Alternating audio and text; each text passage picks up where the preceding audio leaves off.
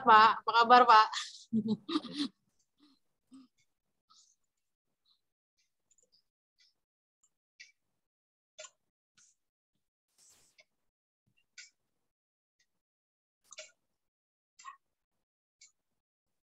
Kak Dita, hostnya siapa ini?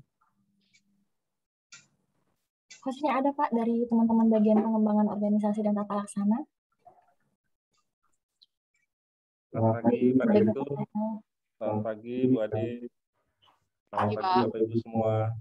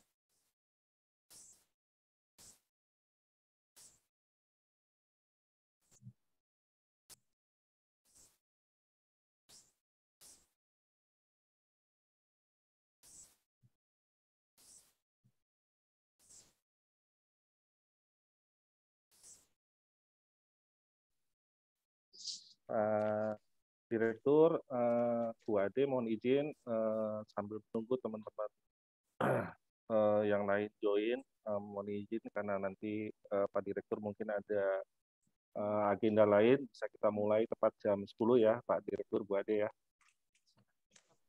Ya, monggo Mas Ismail. Ya. Silakan. Terima kasih Pak. Terima kasih Bu.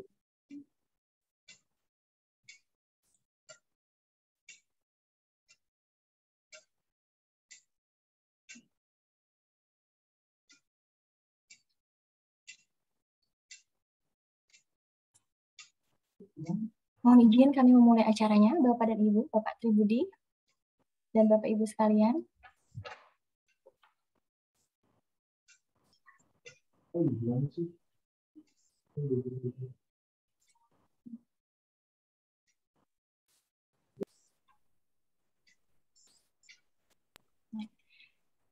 Assalamualaikum warahmatullahi wabarakatuh. Selamat pagi, salam sejahtera dan salam bahagia untuk kita semua. Yang terhormat Direktur Pelaksanaan Anggaran Bapak Tri Budianto, yang kami hormati Kepala Bagian Organisasi dan Tata Laksana, yang kami hormati penyaji materi FGD, Kepala Bidang Pembinaan Pelaksanaan Anggaran 2, Kanwil Dijen Perbendaharaan Provinsi DKI Jakarta. Yang kami hormati para pejabat administrator lingkup Dijen Perbendaharaan, yang kami hormati, moderator FGD, Kepala Seksi Analisis dan Pengembangan Pelaksanaan Anggaran 1, Direktorat Pelaksanaan Anggaran. Yang kami hormati, para pejabat pengawas lingkup Dijen Perbendaharaan. Yang kami hormati para tim champions, analis Dijen Perbendaharaan, kantor pusat Dijen Perbendaharaan, serta para insan Dijen Perbendaharaan peserta FGD yang kami banggakan.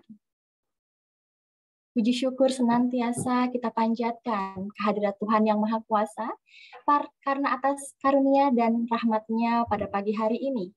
Kami 9 Desember 2021, kita masih diberikan kesehatan dan kesempatan hadir bersama secara daring pada acara Focus Group Discussion, Pola dan Metode Analisis Dampak Terseri terhadap sektor-sektor dalam perekonomian.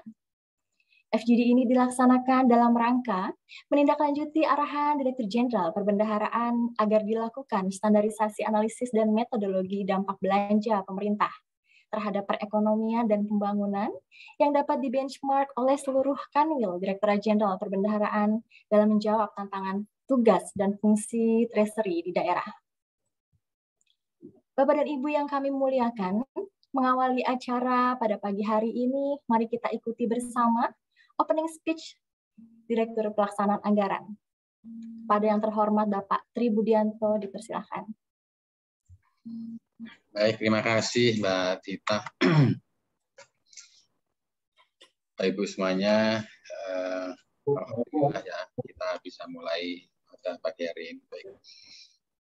Yang saya hormati penyaji materi FPD pada pagi hari ini ya, Kepala Bidang Pembinaan Pelaksanaan Anggaran 2, Kanwil Dirjen Perbendaharaan Provinsi DKI Jakarta, Ibu Windrati. Terima kasih nih Bu Windrati sudah mau berbagi dengan kita semuanya pada pagi hari ini.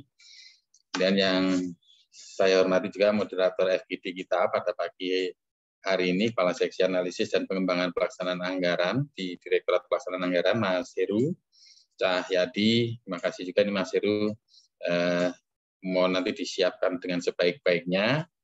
Dan kemudian yang saya hormati para pejabat administrator dan pengawas di lingkup Dijen Perbendaraan, kemudian para tim champion analis Dijen Perbendaraan dari seluruh direktorat, serta seluruh insan perbendaraan serta FGD pada pagi hari ini yang saya banggakan.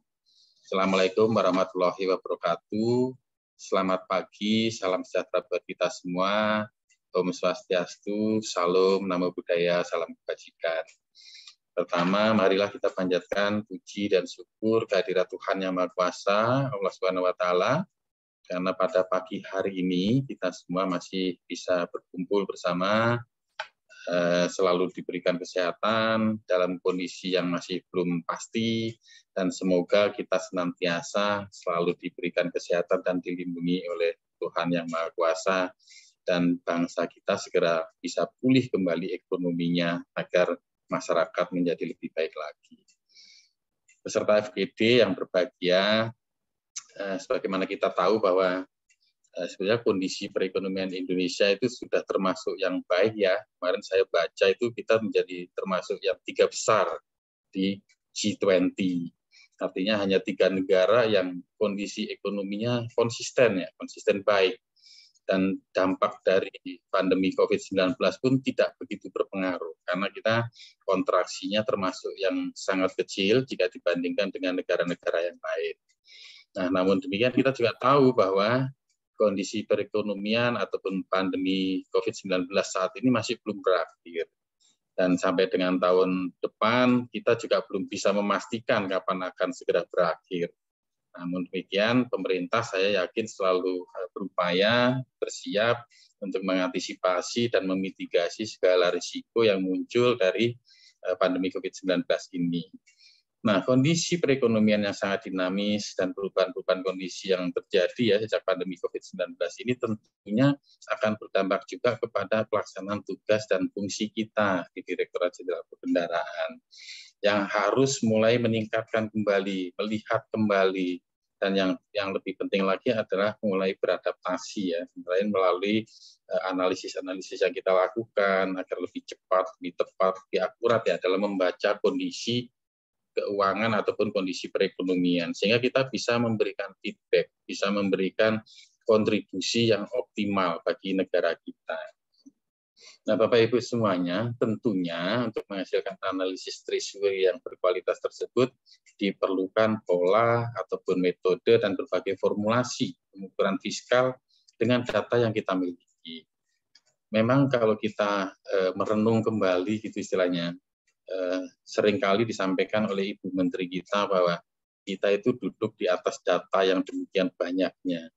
Nah, akan sangat disayangkan sekali kalau kita tidak bisa memanfaatkan data itu. Justru instansi ataupun institusi lain yang memanfaatkan data itu. Nah, untuk itu memang kita harus terus-menerus meningkatkan kapasitas, meningkatkan kemampuan kita. Bagaimana kita bisa membaca ya, bagaimana kita bisa menerjemahkan data itu dalam bentuk informasi yang nanti akan sangat berguna dalam pengambilan keputusan terutama di negeri kita tercinta ini. Nah, kondisi-kondisi inilah yang tentunya menuntut ya menuntut peran nyata kita semuanya untuk bisa melakukan standarisasi ya dan penajaman dari teknik analisa maupun eh, pengukuran-pengukuran asesmen yang kita lakukan. Sejauh mana peran fiskal yang akan dilakukan oleh Dijen Perbendaraan ini mampu memberikan manfaat dan kontribusi yang maksimal pada seluruh sektor-sektor perekonomian dan memberikan feedback terutama untuk rumusan-rumusan kebijakan yang akan diambil oleh pemerintah pusat secara akurat ya atau presisi sehingga dapat diandalkan dan mampu untuk memproyeksikan bagaimana rekomendasi fiskal yang tepat ke depannya. demikian penting peran kita sehingga menuntut kita untuk benar-benar bersungguh-sungguh bagaimana kita meningkatkan kapasitas kemampuan kita dan kami eh, atas nama Pak Sestijen ini saya mewakili Pak Sestijen memberikan apresiasi ya yang setinggi-tingginya ini kepada eh, Kanwil Dijen Perbendaharaan Provinsi DKI Jakarta khususnya kepada Bu Ade ya Kepala Bidang Pembinaan Pelaksanaan Anggaran 2 yang telah berinisiasi ya dan menindaklanjuti dari arahan kantor pusat yang disampaikan pada rapat koordinasi Kanwil Dijen Perbendaharaan Provinsi DKI Jakarta tanggal 20 November 2021 eh, yang lalu yang diamanatkan bahwa ya kita semuanya memang diminta untuk menyusun pola maupun metode analisis dampak treasury terhadap berbagai sektor di dalam perekonomian. Dan usulan ataupun inisiatif ini sudah disampaikan kepada Sekretariat Direktorat Jenderal Perbendaraan pada tanggal 1 Desember 2021. Dijen Perbendaraan Kantor Pusat sangat menghargai inisiasi yang sudah dilakukan ini. Nah, Bapak Ibu semuanya yang saya banggakan, sebagaimana arahan Ibu Menteri Keuangan dan Direktur Jenderal Perbendaraan, Kanwil Dijen Perbendaraan ini secara keseluruhan juga selaku regional chief economist dan terutama perwakilan Kementerian Keuangan di daerah memang sangat diharapkan ya dapat memahami bacaan-bacaan informasi atas APBN maupun APBD di wilayahnya masing-masing. Dan ya diharapkan dapat memantau stakeholder dan Pemda dalam menjaga berbagai indikator fiskal yang positif tentunya guna mendukung perekonomian daerah dan kesejahteraan masyarakat. Dan lebih spesifik lagi, Bapak Ibu semuanya, FGD ini memang diselenggarakan karena memiliki relevansi yang tinggi dengan arahan-arahan pimpinan.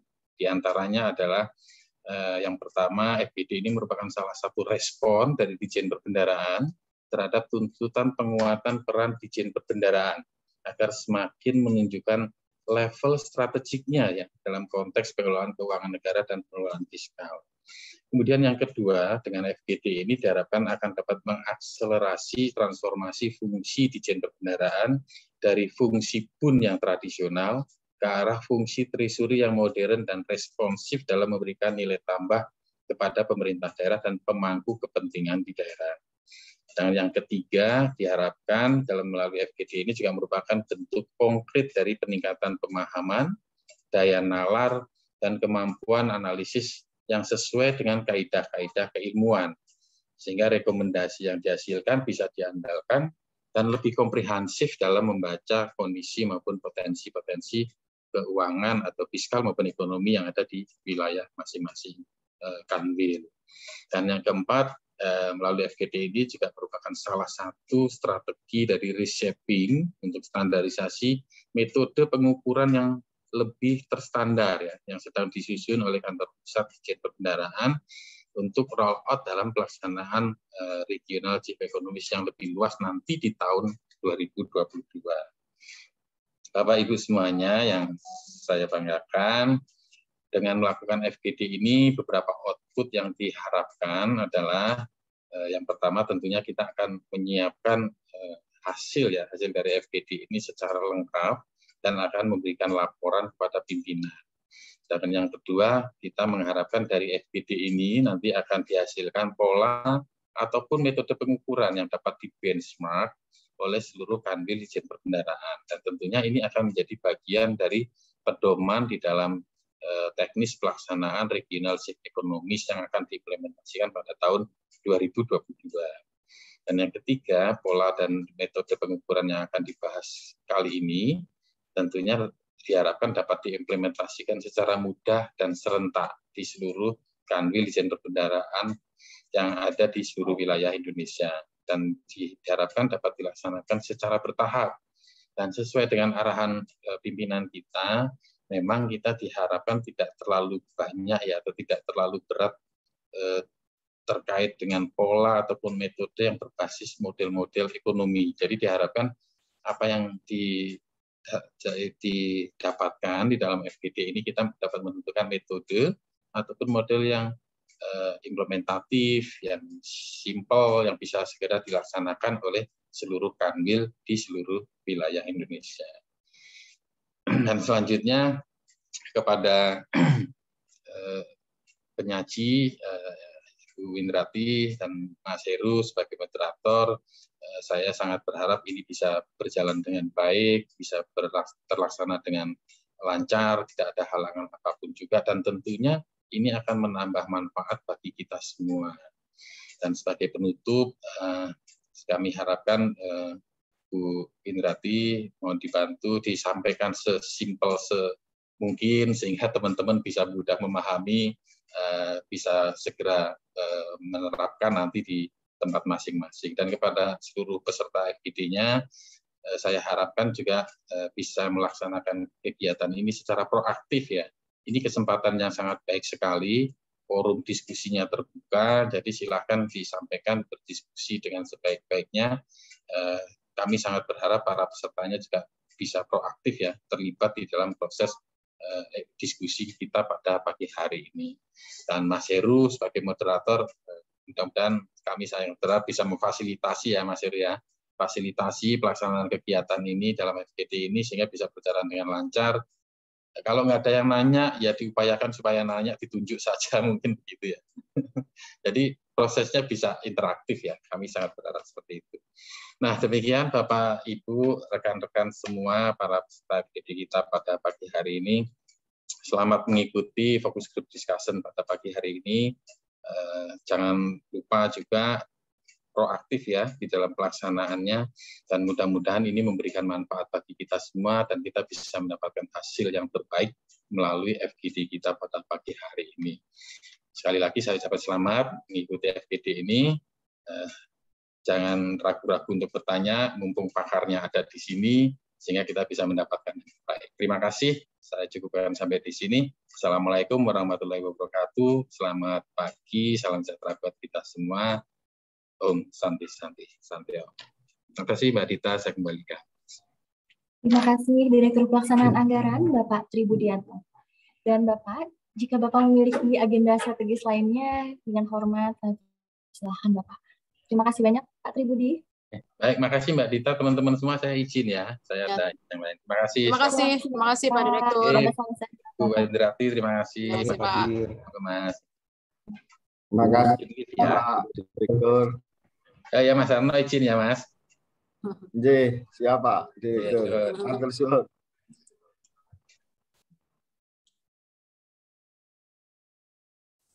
Baik, Bapak Ibu yang kami muliakan, Merangkai acara selanjutnya, mari kita ikuti bersama acara inti kita pada pagi hari ini, yaitu fokus group discussion, pola dan metode analisis dampak treasury terhadap sektor-sektor perekonomian. Dengan narasumber yaitu Kepala Bidang Pembinaan Pelaksanaan Anggaran 2, Kantor Wilayah Direktur Jenderal Perbendaharaan Provinsi DKI Jakarta, Ibu Windrati Ariane Sialagan. Selamat pagi Ibu Windrati. Pagi Mbak Dita. Selamat pagi, Bu. Pagi, Mbak Dita. Sehat, Sehat. Ya, apa kabar, Mbak? Alhamdulillah baik. Sehat juga ya, Bu ya. Ya. ya. Baik.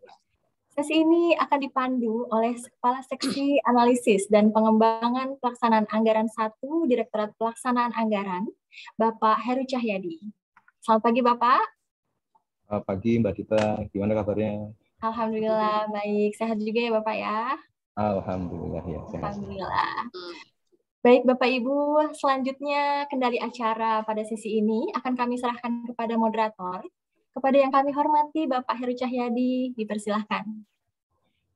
Uh, terima kasih Mbak Kita, uh, yang saya hormati Bapak Direktur Pelaksanaan Anggaran, Pak Ibu Getro, yang saya hormati uh, Kepala Bagian OPL Sedijen Kendaraan, Pak Arno, yang saya hormati Kepala Bidang PPA 2 Kanwil Dijen Perbendaharaan Provinsi DKI, Bu Indrati, ya, selaku narasumber pada acara FGD kali ini.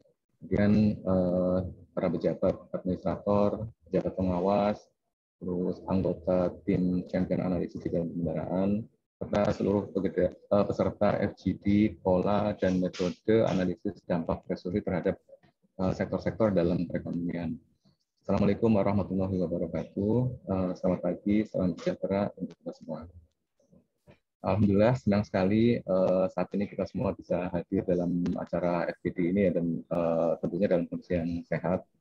Uh, seperti kita ketahui bersama tadi berdasarkan arahan Pak Adir, uh, FGD ini sangat penting dan uh, relevan dengan kondisi kita saat ini di, di DJPP ya, khususnya Bapak Ibu di Kanwil Dijen Perkendaraan. Karena uh, Kanwil Dijen Perkendaraan saat ini diharapkan menjadi uh, regional chief economist uh, yang di uh, peran baru tersebut Kanwil diharapkan dapat uh, memahami informasi-informasi uh, baik dari sisi keuangan negaranya yaitu APBN dan APBD maupun dari sisi kondisi perekonomian di wilayahnya. Tentunya tidak hanya memahami tapi juga mampu melakukan analisis dan menyampaikan masukan gitu ya bagi bagi Pemda gitu. Nah, kalau selama ini kita sudah familiar ya atau bahkan mungkin sudah mahir gitu dalam uh, melakukan analisis deskriptif, analisis tren, misalnya kita uh, bandingkan gitu realisasi tahun ini dengan realisasi tahun-tahun sebelumnya, baik dari, dari sisi belanjanya maupun dari sisi uh, outcome-nya ya indikator-indikator perekonomiannya. Uh, kemudian kalau misalnya kita temui ada realisasi yang lebih rendah gitu dibandingkan periode sebelumnya, kita identifikasi kira-kira uh, penyebabnya apa, terus uh, kita juga rumuskan rekomendasinya, gitu. ah, uh, bagaimana biar biar tidak rendah gitu, biar biar membaik gitu. Nah, kalau saat ini analisis yang diminta kepada Kanwil atau pada kita itu ya untuk dilakukan itu lebih jauh dari itu gitu. Jadi tidak hanya untuk menganalisis variabel itu secara individual, tapi kita coba melihat keterkaitan antara satu variabel dengan variabel yang lain. Nah, dalam kasus ini, dalam uh, kita sebagai pegawai di JPP ya, kita diminta untuk melihat keterkaitan eh, dampak-dampak dari variabel-variabel dari fungsi treasury terhadap variabel-variabel indikator perekonomian. Gitu. Nah, Bapak Ibu sekalian, dalam dalam ilmu ekonomi sebenarnya pola hubungan antar variabel itu sudah ada gitu dan sudah teridentifikasi gitu. Nah, terkait dengan tugas-tugas baru ini, tentunya penting bagi kita untuk memahami Eh, pola-pola hubungan antar variabel tersebut uh, agar kita dapat uh, melakukan analisis dengan lebih baik dan menghasilkan rekomendasi yang juga tepat sasaran gitu ya. Nah, untuk itu bersama kita saat ini telah hadir narasumber yang sangat kompeten ya. Jadi dan sosoknya sudah tidak asing lagi. Beliau adalah Bu Indrati atau lebih lebih familiar kita sapa dengan Bu Ade ya. Nah, selamat pagi Bu Ade. Selamat pagi, Mas Heru. Ya, Bu Ade ya. Iya, sehat Mas Heru, sehat ya Mas Heru. Alhamdulillah sehat ya. Ini pesertanya uh, ada 184 sementara ini. Cukup oh, banyak ya. ya dan siap, dan siap. pastinya antusias gitu untuk untuk mengikuti acara ini karena memang ini relevan sekali ya dengan tugas-tugas di uh, Kanwil saat ini gitu. Iya.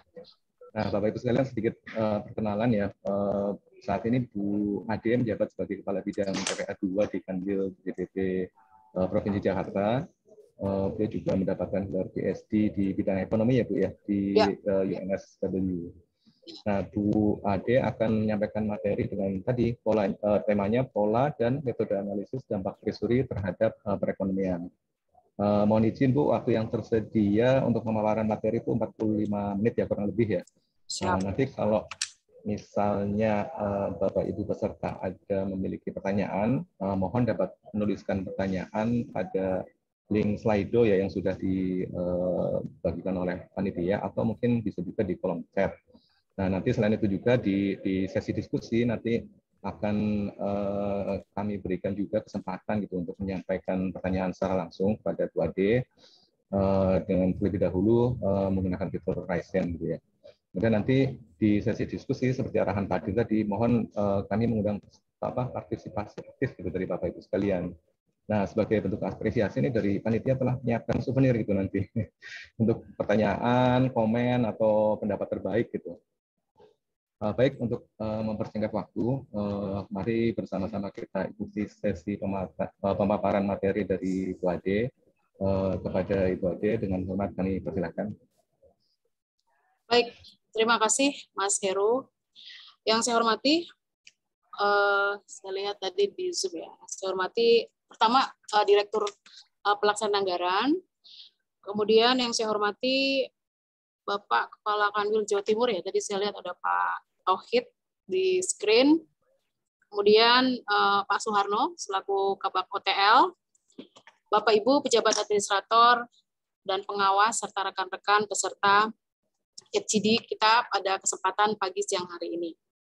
Uh, Bapak Ibu sekalian, seperti yang tadi sudah juga disampaikan oleh Bapak Direktur, bahwa Kanwil DJPB DKI Jakarta uh, menindaklanjuti arahan dari Bapak uh, Setitjen mengenai uh, perlunya uh, kita semua begitu ya, kita semua baik teman-teman di kantor pusat maupun di daerah memikirkan bagaimana sih sebenarnya positioning treasury gitu ya terhadap uh, sektor atau terhadap perekonomian uh, khususnya dalam konteks uh, di mana Kandul saat ini memperoleh tugas uh, sebagai uh, representasi Kementerian Keuangan di daerah dan juga regional chief economist.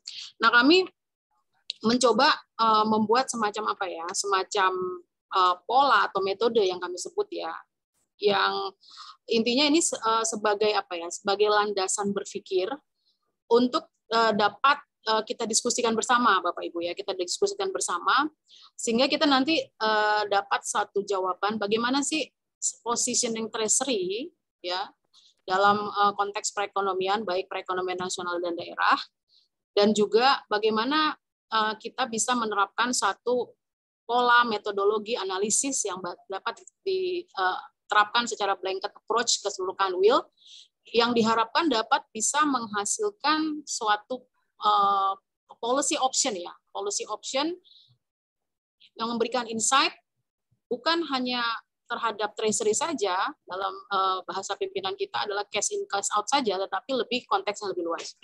Jadi di sini mungkin uh, materi yang akan sajikan agak sedikit sangat konseptual gitu ya. Jadi nanti kalau Bapak Ibu seandainya uh, ada yang kurang clear, mungkin Bapak Ibu bisa langsung chip in saja, langsung interupsi saya uh, sehingga kita bisa uh, mengklarifikasi bersama-sama. Baik, saya langsung saja ya. Langsung saja kepada sektor dalam perekonomian. Jadi kerangka ini saya ambil dari kerangkanya IMF ya IMF ya saya IMF sebenarnya ini teori secara umum ya, tetapi ini juga sudah diterjemahkan oleh IMF ke dalam kerangka data. Jadi sektor dalam perekonomian itu pertama bisa dibagi dalam empat sektor.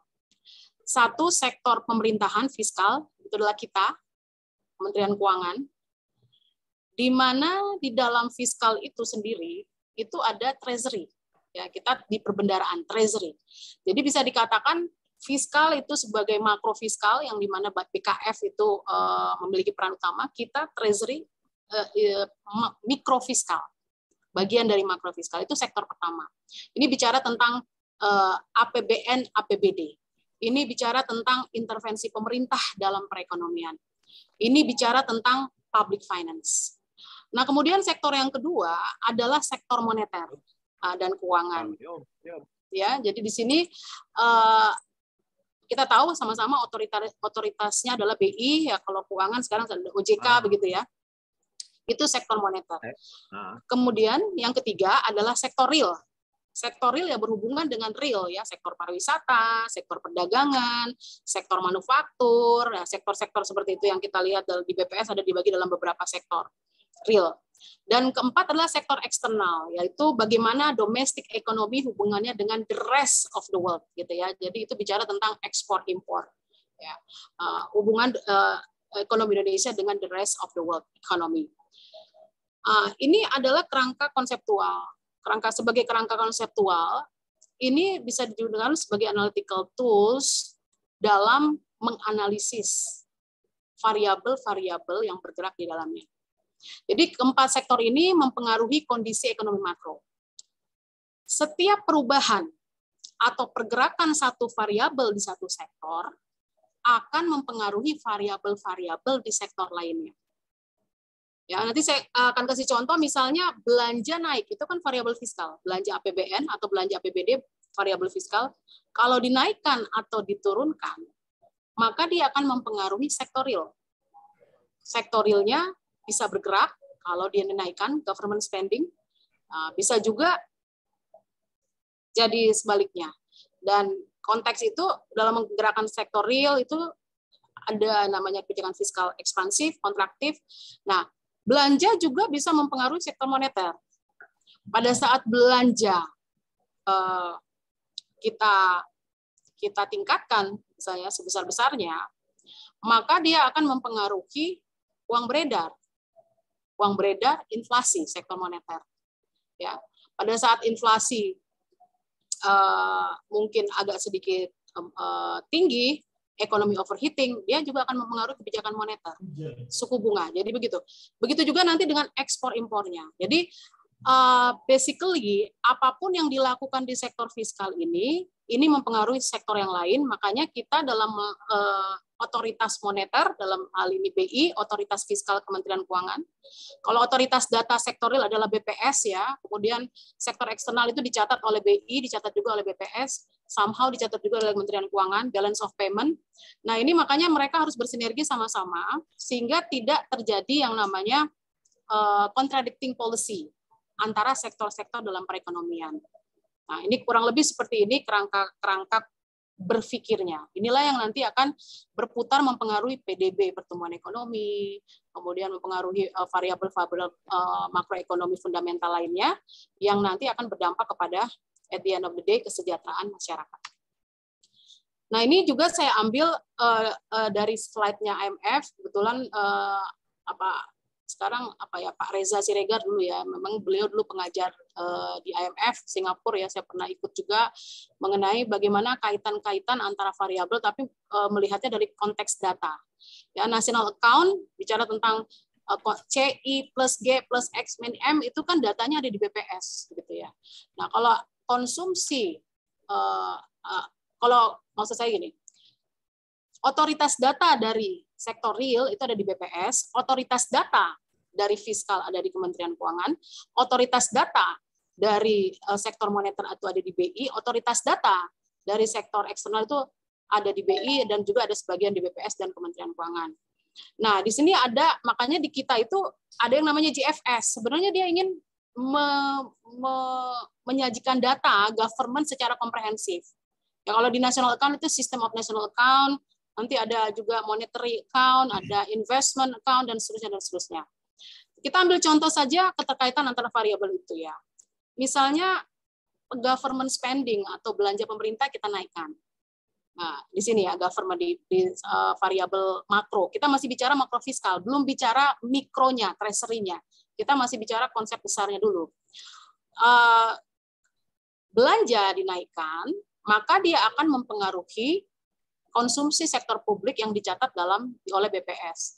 Dia akan kalau belanja modal akan mempengaruhi investasi sektor private gitu ya. Jadi ini ada contoh. Ini ini exercise sederhana saja Bapak Ibu. Ya, kalau kita mau mengedit the complexity itu bisa gitu ya. Tapi ini exercise sederhana yang basically common sense, logik saja. Logik. Jadi kalau belanja dinaikkan, kalau belanja government spending dinaikkan, maka konsumsi publik dan investasi private itu kecenderungannya akan naik. Nah, begitu juga misalnya kalau uh, ada ekspor dan impor gitu ya, nanti dia akan uh, mempengaruhi sektor real ya, sektor real bergerak. Misalnya sektor di bidang uh, kesehatan saja.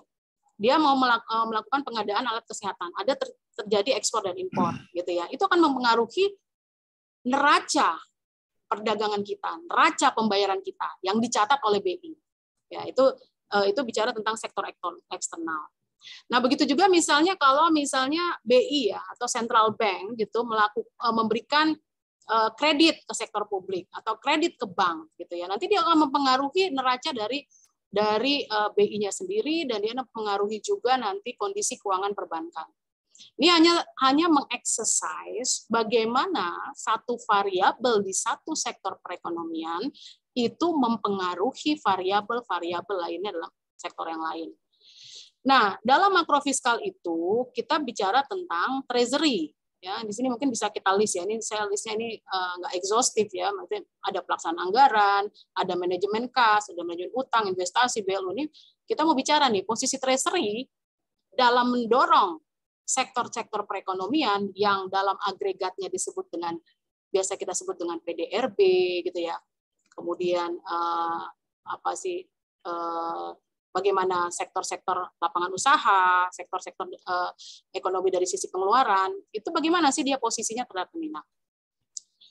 Untuk masuk ke sana, oh ya, untuk masuk ke sana, maka nanti kita harus juga bisa memetakan variabel-variabel treasury ya, dan kaitannya dengan variabel lain dalam sektor perekonomian. Kalau yang ini kan saya tadi jelaskan bagaimana variabel fiskal berpengaruh terhadap variabel moneter, eksternal, dan sektor real. Ya, nanti kalau kita mau lihat posisi treasury, maka kita harus memetakan dulu secara detail variabel-variabel treasury dan secara teori itu berkaitannya dengan sektor mana saja. Kita selama ini kecenderungannya treasury itu langsung ke fiskal, treasury ke fiskal, tapi somehow treasury kadang-kadang bukan kadang-kadang dia juga ada kaitannya nanti dengan moneter, dengan uh, sektor real. Misalnya contoh sektor real ya. Kita di Treasury itu ada yang namanya misalnya uh, kredit program bagi UMKM gitu ya. Kredit program bagi UMKM itu kan treasury itu. Fungsi treasury bukan?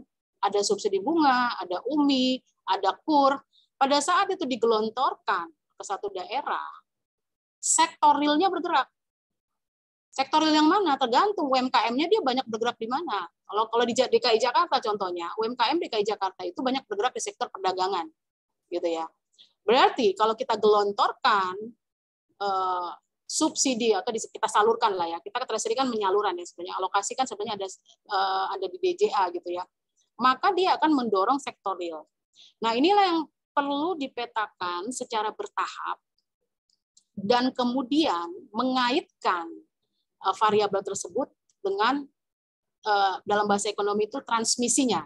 Transmisinya sampai mana gitu ya ke variabel-variabel yang lain.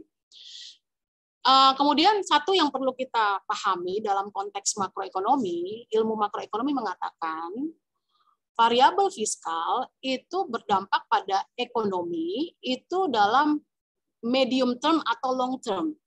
Jadi kalau saat ini pemerintah menggelontorkan belanja modal, bukan berarti besok langsung kelihatan tuh tenaga kerja. Dia nggak bisa uh, apa multiplier efeknya itu nggak bisa sesegera itu.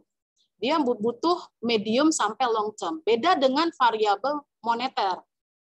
Kalau variabel moneter digerakkan oleh BI hari ini, hari ini juga berdampak. Contoh, misalnya hari ini aja deh, BI naikkan suku bunga jadi 50%. Suku bunga. Gitu ya, suku bunga acuan. Otomatis orang cenderung nggak mau lagi berinvestasi, dia akan langsung nabung. Sebaliknya, kalau BI hari ini dia menurunkan suku bunga sampai negatif, gitu ya, kayak misalnya di Jepang, otomatis orang menarik uangnya yang triliunan di di bank untuk dia pakai dagang.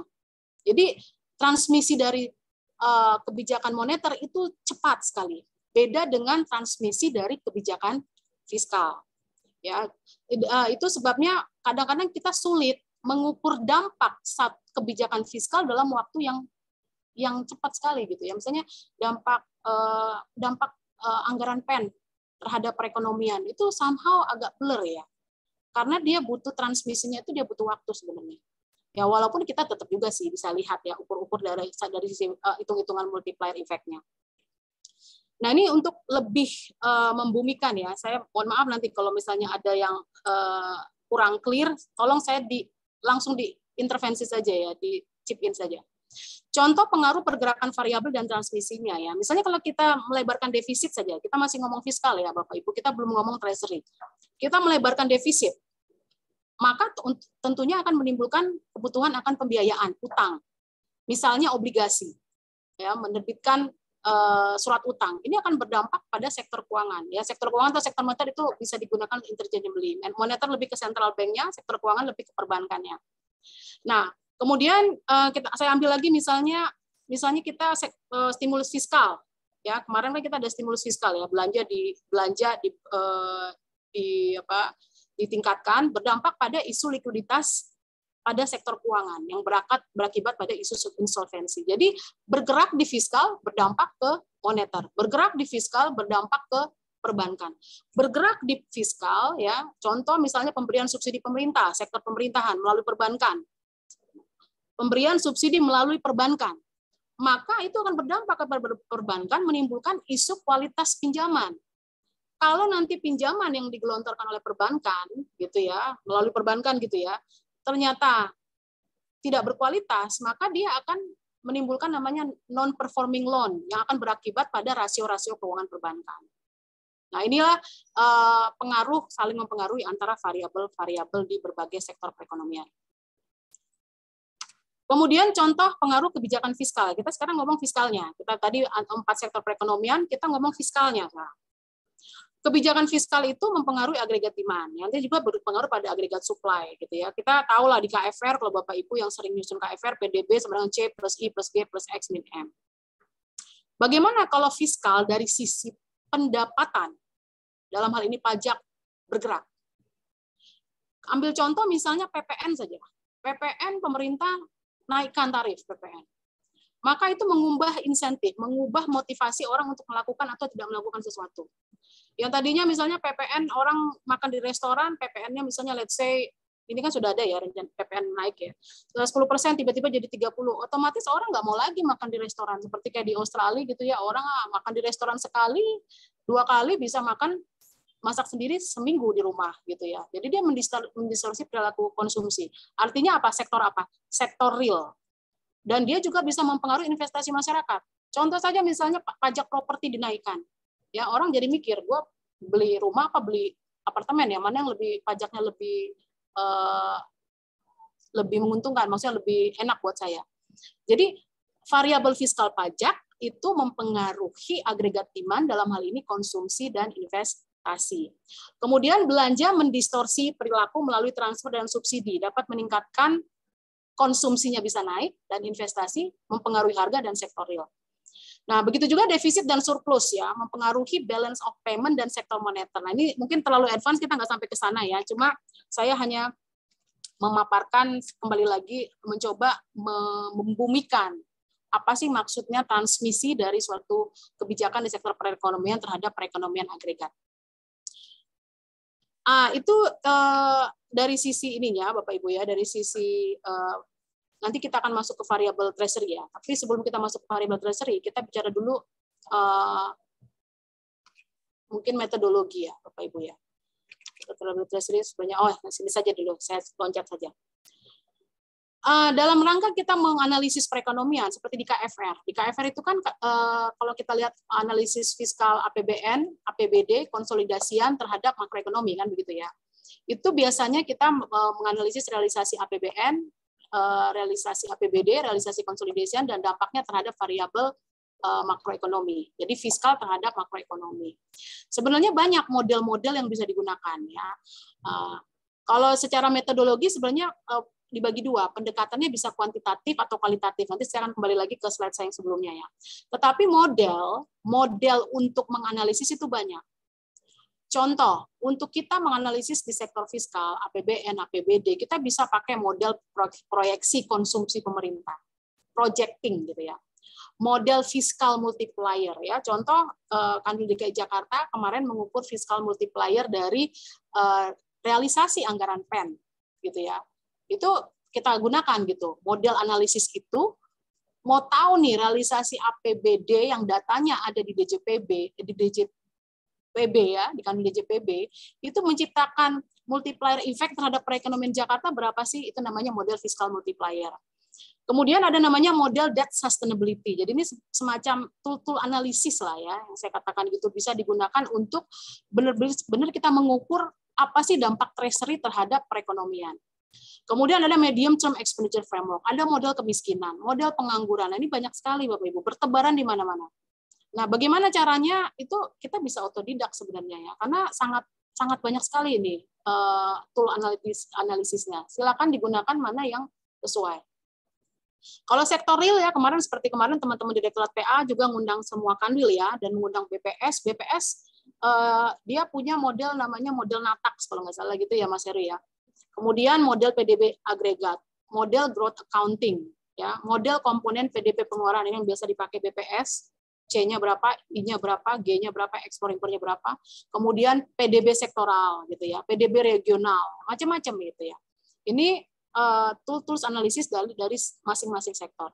Di sektor eksternal ada namanya model balance of payment ya, model external growth. Di model di moneter ada model inflasi, model nilai tukar ya. Nah, ini tadi saya sampaikan model makroekonomi yang sudah mulai kami gunakan ya. Saya rasa di kantor lain juga sudah mulai menggunakan uh, input output mengukur uh, apa sih keterkaitan forward linkage dari satu sektor ke depan atau backward linkage, model general equilibrium untuk mengukur multiplier effect dari eh, belanja terhadap perekonomian regional, shift share dan analisis kuadran untuk mengetahui sektor unggulan dan sebagainya. Ini pendekatan-pendekatan yang uh, digunakan dalam berbagai sektor. Nah, pertanyaannya, bagaimana sih kalau kita mau uh, melihat pendekatan model treasury. Mungkin ini ada sedikit ini ya saya saya mau share yang supaya lebih membumi ya Bapak Ibu ya. Ini ada di, di Word mungkin Bapak Ibu juga bisa bisa paham. Jadi pertama kan yang saya, saya tadi saya sampaikan kita memetakan dulu variabel. Variabel sektor fiskal itu kan APBN, APBN ya, variabel sektor fiskal ada ada pendapatan negara hibah, penerimaan pajak, NBP, hibah, belanja negara, belanja Pemprov. Ini variabel sektor fiskal, surplus defisit, pembiayaan, penerimaan, variabel APBD juga demikian. Ada PAD, pendapatan transfer, belanja daerah dan seterusnya dan seterusnya dan seterusnya. Ada silpa. Nah, variabel sektor real ya macam-macam, ada konsumsi eh, privat, ada investasi privat, ada government spending, ekspor impor, itu berdasarkan pengeluaran Sedangkan berdasarkan sektor real, berdasarkan sektor lapangan usaha, ada sektor kelautan, ya biasanya NTP, kemarin di KFR, itu variabel sektor real NTP. Kemudian sektor pertanian, NTN, itu variabel sektor real. Ya, sektor pariwisata, jumlah wisatawan mancanegara itu contoh-contoh variabel sektor real. Jadi kita petakan dulu satu-satu. Kemudian variabel sektor moneter, saya rasa, saya rasa Bapak Ibu juga sudah paham inflasi, cadangan devisa, nilai kredit, nilai tukar, Nah, kemudian variabel eksternal, ekspor impor, dan seterusnya. Pertanyaannya, bagaimana dengan variabel treasury? Variabel treasury. Kenapa? Karena kan kita mau mengukur pengaruh dampak treasury terhadap perekonomian. Nah, treasury itu kan luas ya Bapak Ibu ya. Mulai tadi saya sampaikan yang banyak kita uh, bicarakan di KFR itu variabel pelaksanaan anggaran. Padahal kan treasury itu ada cash management, ada investment management, ada debt management, ada akuntansi dan laporan keuangan dan seterusnya.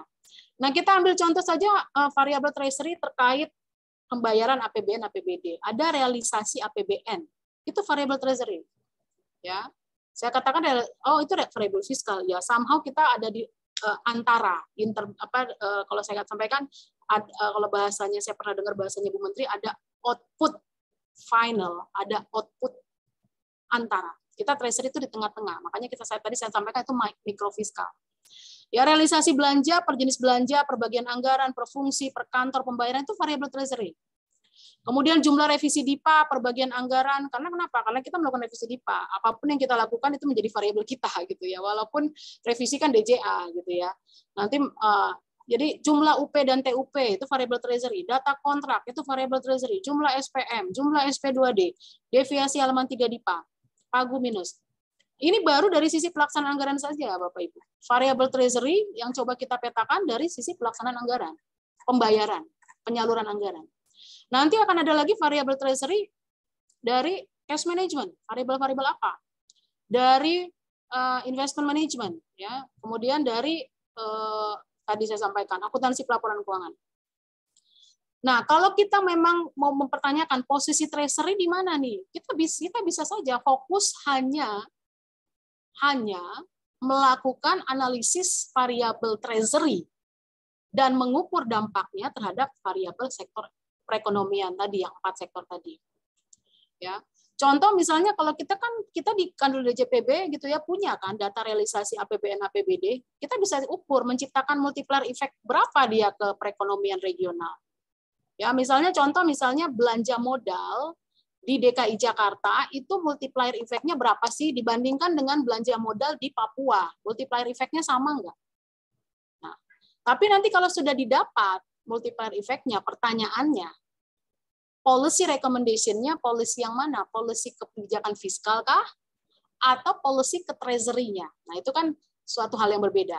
Nanti kita perlu perlu uh, apa uh, sama-sama menyepakati mungkin dari teman-teman uh, pimpinan dari kantor pusat kita positioning kita ada di mana gitu.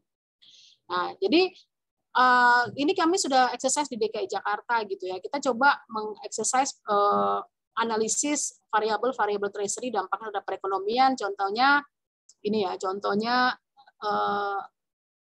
realisasi APBN menciptakan multiplier effect, contoh analisis realisasi APBN per klasifikasi ekonomi dan pengaruhnya terhadap perekonomian regional. Kita gunakan statistik deskriptif dan regresi saja cukup. Ya, regresi kan ada regresi sederhana, gitu ya, uh, yang sederhana saja.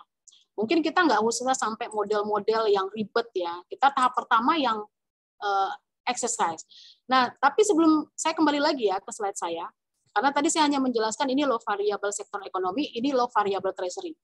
Variable treasury which is mikro fiskal berbeda dengan variable fiskal which is makro fiskal. Itu yang harus perlu kita pahami. Jangan sampai kita ketelingsut ketelingsut ini fiskal bukan treasury gitu ya. Kita harus tahu posisi kita ada di mana. Nah, untuk masuk ke sana, maka tadi saya ada eh, slide saya mengenai metodologi ya sebelum kita masuk ke sana metodologi. Nah ini uh, slide metodologi. Kan kita mau mencari nih, bagaimana sih pola analisis dan metode yang terstandardized di seluruh kanwil, gitu ya.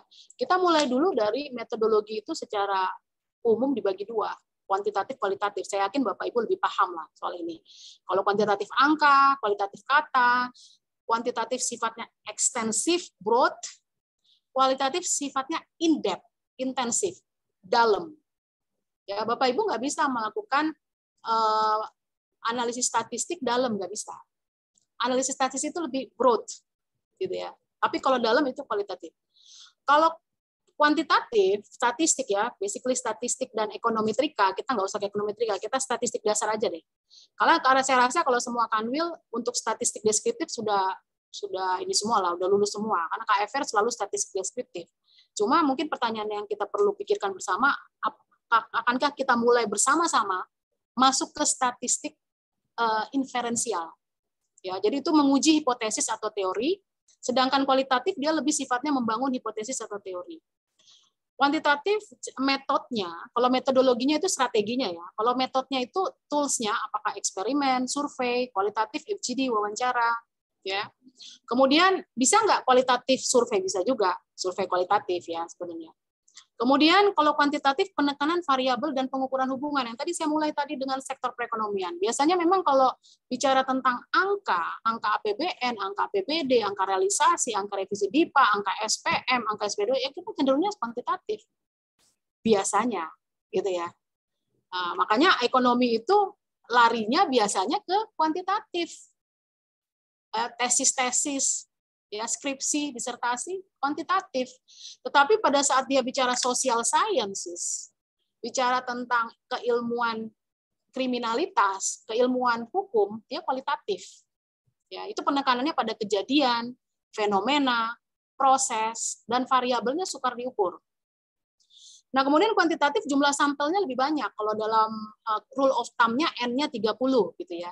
Jadi kalau ada yang regresi N-nya 5, ya itu udah salah itu ya. Ya. Tapi kalau kualitatif nggak ada rules itu. Sampel 2 fine, sepanjang dia cara pengambilan samplingnya benar. Karena cara pengambilan sampling di kuantitatif akan berbeda dengan cara pengambilan sampling di kualitatif. Kemudian kuantitatif itu deduktif, kualitatif induktif ya. Kuantitatif itu sifatnya prediksi, kita bisa memproyeksi pertumbuhan ekonomi, memproyeksi berapa sih uh, uh, kayak hari ini nih kami disuruh memproyeksi kira Desember kan belum tiba ya. Kira-kira per 31 Desember berapa sih SPM jumlahnya? Ya, sekarang kita berada di 9 Desember. Kita bisa melakukan prediksi pakai kuantitatif. Dan kebetulan angka-angkanya ada. Tetapi kualitatif dia tidak memprediksi tapi menginterpretasikan. Nah, keunggulannya dari kuantitatif dapat digeneralisasi. Jadi kalau misalnya dia sudah ada hasil di satu uh, lokus, maka dia bisa digeneralisasi ke lokus lain. Sedangkan kualitatif itu tidak bisa. Pertanyaannya, kalau kita eh, mau melakukan analisis-analisis variabel treasury, menggunakan metodologi-metodologi yang tersedia atau metode-metode yang tersedia, mana yang kita pilih untuk policy making, ya kan? Untuk rekomendasi yang dihasilkan dari kajian-kajian itu bisa efektif. Ya, itu saya lihat semacam mashab ya. Ada yang menganggap kuantitatif itu lebih kredibel, titik. Saya nggak mau pakai kualitatif. Kuantitatif kerap dianggap lebih objektif, lebih kredibel, dapat digeneralisasi, sehingga dapat digunakan langsung directly dalam kebijakan. Contohnya directly bagaimana? Contohnya ya, saya melakukan uh, penelitian kuantitatif mengukur multiplier effect dari jenis-jenis belanja. Ternyata ada satu jenis belanja yang multiplier efeknya kecil sekali. Yang satu gede sekali gitu kan. Mungkin kita langsung katakan yang gede sekali aja kita langsung tambal gede sehingga kalau lagi krisis gitu ya. Sehingga langsung dia bisa menggerakkan perekonomian.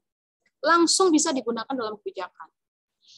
Tetapi ada juga yang mengatakan oh enggak, penelitian kuantitatif sulit memberikan policy advice yang jelas. Saya akan kasih contoh bagaimana penelitian kualitatif sudah ada hasil, tapi kita bingung kebijakannya apa yang mau diambil dari sini, gitu ya.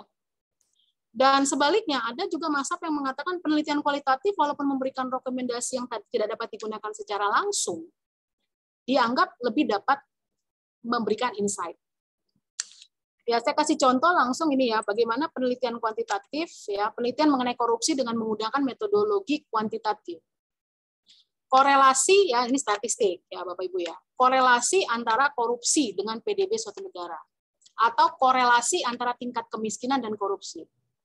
Kan udah banyak bukti ya dalam riset bahwa terdapat korelasi negatif antara korupsi dan PDB suatu negara. Contoh kita, waktu kita belum reformasi, pertumbuhan ekonomi kita tinggi sekali. Tapi ternyata kita sebelum reformasi adalah negara yang paling korup. Jadi tidak ada tidak ada korelasi antara korupsi dengan PDB suatu negara. Itu itu ada bukti empirisnya, ada bukti risetnya. Sementara ada korelasi positif antara eh, kemiskinan dan korupsi ya. Nah, pertanyaannya kebijakan apa yang mau kita ambil kalau kita tahu bahwa terjadi korelasi negatif antara korupsi dengan PDB suatu negara? Sulit. Kebijakan yang mana nih? Itu yang mau diinsert nanti bisa kita mixkan dengan kualitatif sehingga kita bisa tahu korupsi ini prosesnya kenapa sih ya contoh korupsi di Belanda itu lebih setelah dilakukan penelitian kualitatif itu korupsi korupsi yang berhubungan dengan affairs tapi korupsi-korupsi di negara Afrika adalah korupsi setelah penelitian kualitatif korupsi-korupsi yang berhubungan dengan uh, bukan affairs tetapi apa namanya uang gitu ya jadi policy optionnya akan beda di Belanda untuk mentekel korupsi dengan policy optionnya yang di Afrika untuk mentekel korupsi. Nah, jadi kembali lagi langsung saja ke sini ya Bapak Ibu ya, langsung saja ke, ke treasury. Jadi bagaimana dong pendekatan model treasury ya? Uh, pendekatan model treasury karena banyak kita menggunakan data-data penyaluran APBN, penyaluran APBN, data pembayaran, data ya cash management juga treasury ya, termasuk laporan keuangan pendekatan kuantitatif, kuantitatif bisa dipertimbangkan menjadi salah satu pendekatan utama. Kembali lagi dia superior karena lebih objektif, tidak bias seperti kualitatif dan dia dapat digeneralisasi. Kalau kualitatif tidak bisa digeneralisasi. Nah, ini nanti perlu perlu nanti ya eh, pendekatan model tersebut menggunakan dapat dikembangkan secara bertahap setelah tahap pemetaan dan analisis antara variabel treasury dan transmisinya dilakukan. Nah, ini kita bisa juga melakukan kuantitatif, kualitatif, campuran, deskriptif kan udahlah KFR sudah lewat semua nih. Inferensial kita mungkin harus sudah mulai ke regresi sederhana atau berganda. Ada lagi yang namanya value for money model. Kan kita mau mengukur nih, uang yang kita salurkan itu nemu nggak outputnya? Hasilnya dapat nggak dengan uang yang disalurkan? Output per input ya. Kita bisa sebenarnya ada di spending review ya. Itu bisa kita mix itu metodologi spending review yang sudah dikembangkan oleh teman-teman di Direktorat PA benchmarking, cost benefit analysis, logical framework survey untuk menjadi salah satu model uh, analisis treasury. Ya, karena ini bisa kita ukur gitu ya. Uang yang kita salurkan itu menghasilkan output berapa. Bahkan menghasilkan outcome atau tidak. Itu itu value for money model namanya. Ya, beda sedikit beda dengan statistik semacam model yang lain dan itu sangat bisa apa ya dipelajari. Atau kalau kita mau pakai kita melakukan penelitian 34 kanwil pakai uh, multiple case study untuk menghasilkan satu rekomendasi yang bisa diterapkan di seluruh wilayah uh, ekonomi dari Sabang sampai Merauke. Itu juga bisa dari sisi pendekatan kualitatif. Artinya plus and plus pros and cons, kuantitatif kuantitatif is good, mix kualitatif uh, kayaknya enggak ya kalau kualitatif, tapi kalau mix itu mungkin juga lebih bagus. Nah ini saya rasa juga teman-teman PA lebih paham ini ya kerangka konseptual uh, value value for money study bagaimana kita tuh kalau bisa treasury itu hanya mengukur operasional uh, efisiensi operasional saja. Karena yang bisa mengukur efektivitas itu harus dikaitkan dengan Bappenas. Ya. Apakah suatu anggaran itu efektif atau tidak, tidak bisa dianalisis hanya dari anggarannya saja. Tetapi harus dikaitkan dengan prioritasnya, which is itu ada di ranahnya Bappenas. Jadi Bappenas dan DJA menurut saya pribadi bisa sangat efektif mengukur efisiensi alokatif suatu anggaran, bahkan efisiensi agregat, ya ini di BKF, berapa sih uh, defisit terhadap PDRB, berapa sih utang terhadap PDRB, tetapi kalau treasury kita di perbendaraan, kita bisa fokus pada tingkat efisiensi operasional saja. Artinya uang yang kita salurkan melalui KPPN ke KL itu apakah sudah menghasilkan output sesuai yang diniatkan. Nah, ini nanti uh, treasury kita akan uh, coba jabarkan treasury ke sektor keuangan bagaimana dan transmisinya, treasury ke sektor real bagaimana dan transmisinya, treasury ke sektor fiskal dan transmisinya ke sektor lain, treasury ke sektor eksternal. Dan kita nggak bisa mix up antara variabel treasury dengan fiskal karena agak-agak berdekatan, tetapi kita harus jelas bedakan. Saya nggak akan bahas ini Bapak Ibu ya karena mungkin waktu nanti Bapak Ibu bisa baca ini contoh eksersis sederhana bagaimana transmisi variabel-variabel treasury dengan sektor fiskal. Kalau realisasi APBN kita tambah, otomatis defisit meningkat. Dengan asumsi ceteris paribus ya, pendapatannya tetap. Maka pada saat eh, defisit meningkat, tentu pembiayaan meningkat. Dan sebaliknya. Ini contoh eksersis sederhana. Treasury sektor juga begitu. Pada saat uh, realisasi APBN di sektor pertanian kita tingkatkan, sektor kelautan kita tingkatkan, maka pendapatan petani meningkat, maka nanti ada NTP meningkat. Sektor pertanian ada pendapatan nelayan, nanti NTN meningkat. Dan seterusnya sektor pariwisata jumlah wisatawan meningkat, sektor real ya, devisa devisa negara meningkat.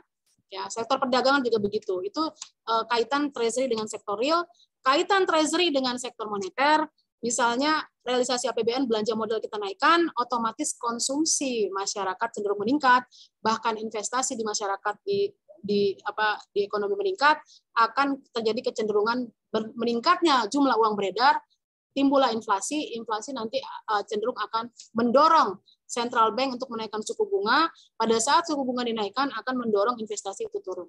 Nah, ini gimana nih cara menggambarkan ini? Ini sebenarnya common sense saja Bapak Ibu ya. Common sense ya common sense research is common sense ya as long as it makes sense it's okay gitu tapi kita bisa membantu common sense kita dengan uh, mempelajari literatur literatur terdahulu nah kemudian pertanyaannya pada saat nanti variabel-variabel treasury itu sudah kita analisis gitu ya dan kita jadi tahu nih posisi treasury terhadap perekonomian gitu ya perekonomian regional maupun perekonomian nasional tentunya kita harus menghasilkan rekomendasi Nah, rekomendasi yang kita hasilkan termasuk di KFR, permasalahannya ya, saya nggak bicara tentang kanwil lain ya, saya bicara tentang kanwil Jakarta, karena kebetulan kami membuat KFR di kanwil Jakarta. Uh, beberapa kali kami berbicara dengan Pemda, mereka mengatakan rekomendasinya kurang applicable, kurang masih sedikit normatif, gitu ya. Jadi nanti ada kriteria rekomendasi efektif bergantung pada kredibilitas kajian. Jadi kalau kita balik ke KFR misalnya, kriteria rekomendasi KFR yang efektif bergantung pada kredibilitas KFR itu sendiri. Kredibilitasnya diukur dari mana? Valid nggak? Variabel-variabel kaitan-kaitan tadi itu valid nggak? Misalnya contoh variabel itu uh, validitas kontrak validitinya. Apakah ukuran yang kita pakai untuk mengukur benar-benar ukuran yang sesuai? Contohnya kita mengatakan, yuk kita mengukur kepintaran lima orang di sini di satu ruangan. Kita pakai apa yang sesuai ya? IQ yuk, IQ. Ternyata enggak, enggak tuh IQ ternyata enggak menunjukkan kepintaran atau keberhasilan seseorang. Nah, mungkin tuh variabelnya enggak sesuai dari sisi konstruk uh, sorry, dari sisi konstruk validity. Kemudian dari sisi internal validity, hubungan hubungan kausalitas sebab akibat. Misalnya kita mau mengukur pada saat belanja perlindungan sosial saya salurkan melalui KPPN, apakah tingkat kemiskinan itu menurun? Pertanyaannya, memang ada nggak sih secara konsep hubungan sebab akibat antara belanja modal, eh belanja modal, belanja perlindungan sosial dengan tingkat kemiskinan. Sepanjang itu valid, maka saya mengatakan internal validitinya benar. Ya. Kemudian external validity, apakah dia dapat digeneralisasi? Makanya kalau kita bicara generalisasi, kita cenderung mainnya di kuantitatif. Kembali lagi, kalau bicara generalisasi, kita cenderung mainnya di kuantitatif. Kualitatif tidak bisa digeneralisasi. Kemudian reliabilitas, apakah konsisten ukuran-ukuran digunakan? Dapat direplikasi, ini contoh ukuran rekomendasi. Saya di Jakarta, misalnya kami di Jakarta melakukan analisis input-output maka saya harus jelaskan seluas-luasnya bagaimana saya menggunakan analisis input output itu sehingga kanwil yang lain bisa mereplikasi. Pada saat kajian kami tidak bisa direplikasi oleh kanwil yang lain karena tidak transparan, maka orang akan bertanya ini nggak jelas nih dari mana dia dapat rekomendasi itu. Kemudian applicable, dapat diterapkan dan relevan. Nah ini yang menjadi challenge ya kalau kami di Jakarta, bagaimana rekomendasi kami itu benar-benar bisa doable oleh Pemda sebagai stakeholder utama kami. Kemudian transferable dapat diterapkan dalam konteks yang berbeda. Ya. Mungkin uh, saya nggak lama-lama. Oke, okay, uh, eh, saya nggak lama-lama lagi. Uh, langsung saja saya policy option ya. Policy option pada saat kita menghasilkan satu rekomendasi, rekomendasi kebijakan apa yang mau kita berikan? Apakah kita mau memberikan rekomendasi kebijakan fiskal, rekomendasi kebijakan moneter, struktural, atau rekomendasi kebijakan treasury saja? Itu juga harus menjadi harus menjadi pertanyaan yang disepakati. Sebagai contoh, misalnya saya kasih contoh ya Bapak Ibu ya, kami kemarin melakukan analisis korelasi dak fisik dan belanja modal APBD. Ya, ini rekomendasinya bisa kami kasih ke DJPK dan Pemda. Jadi kami memberikan rekomendasi di kebijakan TKDD. Itu kan bukan dari Treasury. Itu maksud saya. Nah, jadi posisi Treasury itu ada di mana gitu. Itu perlu dijawab. Apakah kita mau hanya fokus memberikan rekomendasi-rekomendasi kebijakan di bidang Treasury saja atau dalam konteks kita menganalisis variabel-variabel treasury kita juga memberikan uh, rekomendasi di kebijakan fiskal bahkan kebijakan moneter. Ya kita kan RCE regional chief economy seharusnya bisa ke mana-mana sih ya menurut saya. Tapi itu harus menjadi uh, pertanyaan yang perlu dijawab bersama-sama. Nah terakhir saja nih bapak ibu ya. Nanti kita bisa sama-sama diskusi saja strategi implementasinya bagaimana nih supaya kita lebih tahu positioning treasury mengukur dampak treasury terhadap perekonomian, dan kemudian uh, treasury-nya itu nggak hilang. Jangan sampai juga kita uh, jadi apa namanya uh, melakukan analisis-analisis ekonomi, totalnya treasury-nya hilang. Treasury-nya nggak clear di situ mana cash management-nya, mana investment management-nya, bahkan nanti ada BLU ya, BLU is part of treasury kan, kita juga harus masuk ke sana gitu ya. Kemudian maka kita harus melakukan pemetaan variabel treasury secara lebih detail dan mengidentifikasi kaitannya dengan sektor-sektor dalam perekonomian. Karena kalau kita nggak mengidentifikasi ini, maka nanti kita hilang. Bisa nanti KFR itu semua isinya fiskal, Bapak Ibu. Kita lupa bahwa kita ini adalah treasury. Ya, saya juga lihat agak-agak mengarah ke sana. Tapi dengan adanya, saya melihat kemarin adanya apa Alko ya, Alko itu benar uh, nuansa treasury-nya kelihatan sih kalau Alko ya. Ya, kemudian kedua menyusun kerangka konseptual dampak treasury. Kerangka konseptual itu panduan Bapak Ibu yang isinya hubungan antara variabel treasury dan perekonomian dan posisi rekomendasi dari kajian treasury. Rekomendasinya hanya treasury saja atau bisa ke seluruh sektor dalam perekonomian. Kemudian menetapkan metodologi yang dapat distandarisasi dalam menghasilkan treasury policy advice. Ya, saya propose yang sederhana saja, inferensial sederhana. Ya, e, kalau mau yang kualitatif ya fine gitu ya, tapi diterapkan e, seperti multiple case tadi gitu bisa gitu ya. Uh, atau tools-tools model-model lain yang lebih robust. Kalau istilahnya itu robust ya kuantitatif atau tools-tools itu lebih robust dibandingkan tools-tools kualitatif. Dan terakhir yang menurut saya paling penting adalah memberdayakan pegawai kanwil dengan satu fundamental makroekonomis. Fundamentalnya saja nggak perlu intermediate-nya nggak perlu advance-nya kenapa pada saat seorang pegawai itu Eh, karena saya belajar makroekonomi ya. Jadi pada saat seorang pegawai itu memahami basic makroekonomi, maka untuk dia masuk ke intermediate dengan advance dia bisa otodidak sebenarnya. Ya bisa otodidak kalau dia mau gitu ya. Eh, tetapi kalau dia memang tidak memiliki latar belakang makroekonomi, kemudian dia mau menganalisis fungsi-fungsi treasury terhadap makroekonomi mungkin agak sedikit susah. Ya kalau menurut saya pribadi mungkin ada bapak ibu yang ingin mencales nggak apa-apa. Atau mengkritik atau tidak sependapat nggak apa-apa. Tapi pengalaman saya belajar makroekonomi dari S1 S2 dan S3 gitu ya. Kemudian basicnya saja metode penelitian. Karena metode penelitian itu banyak sekali.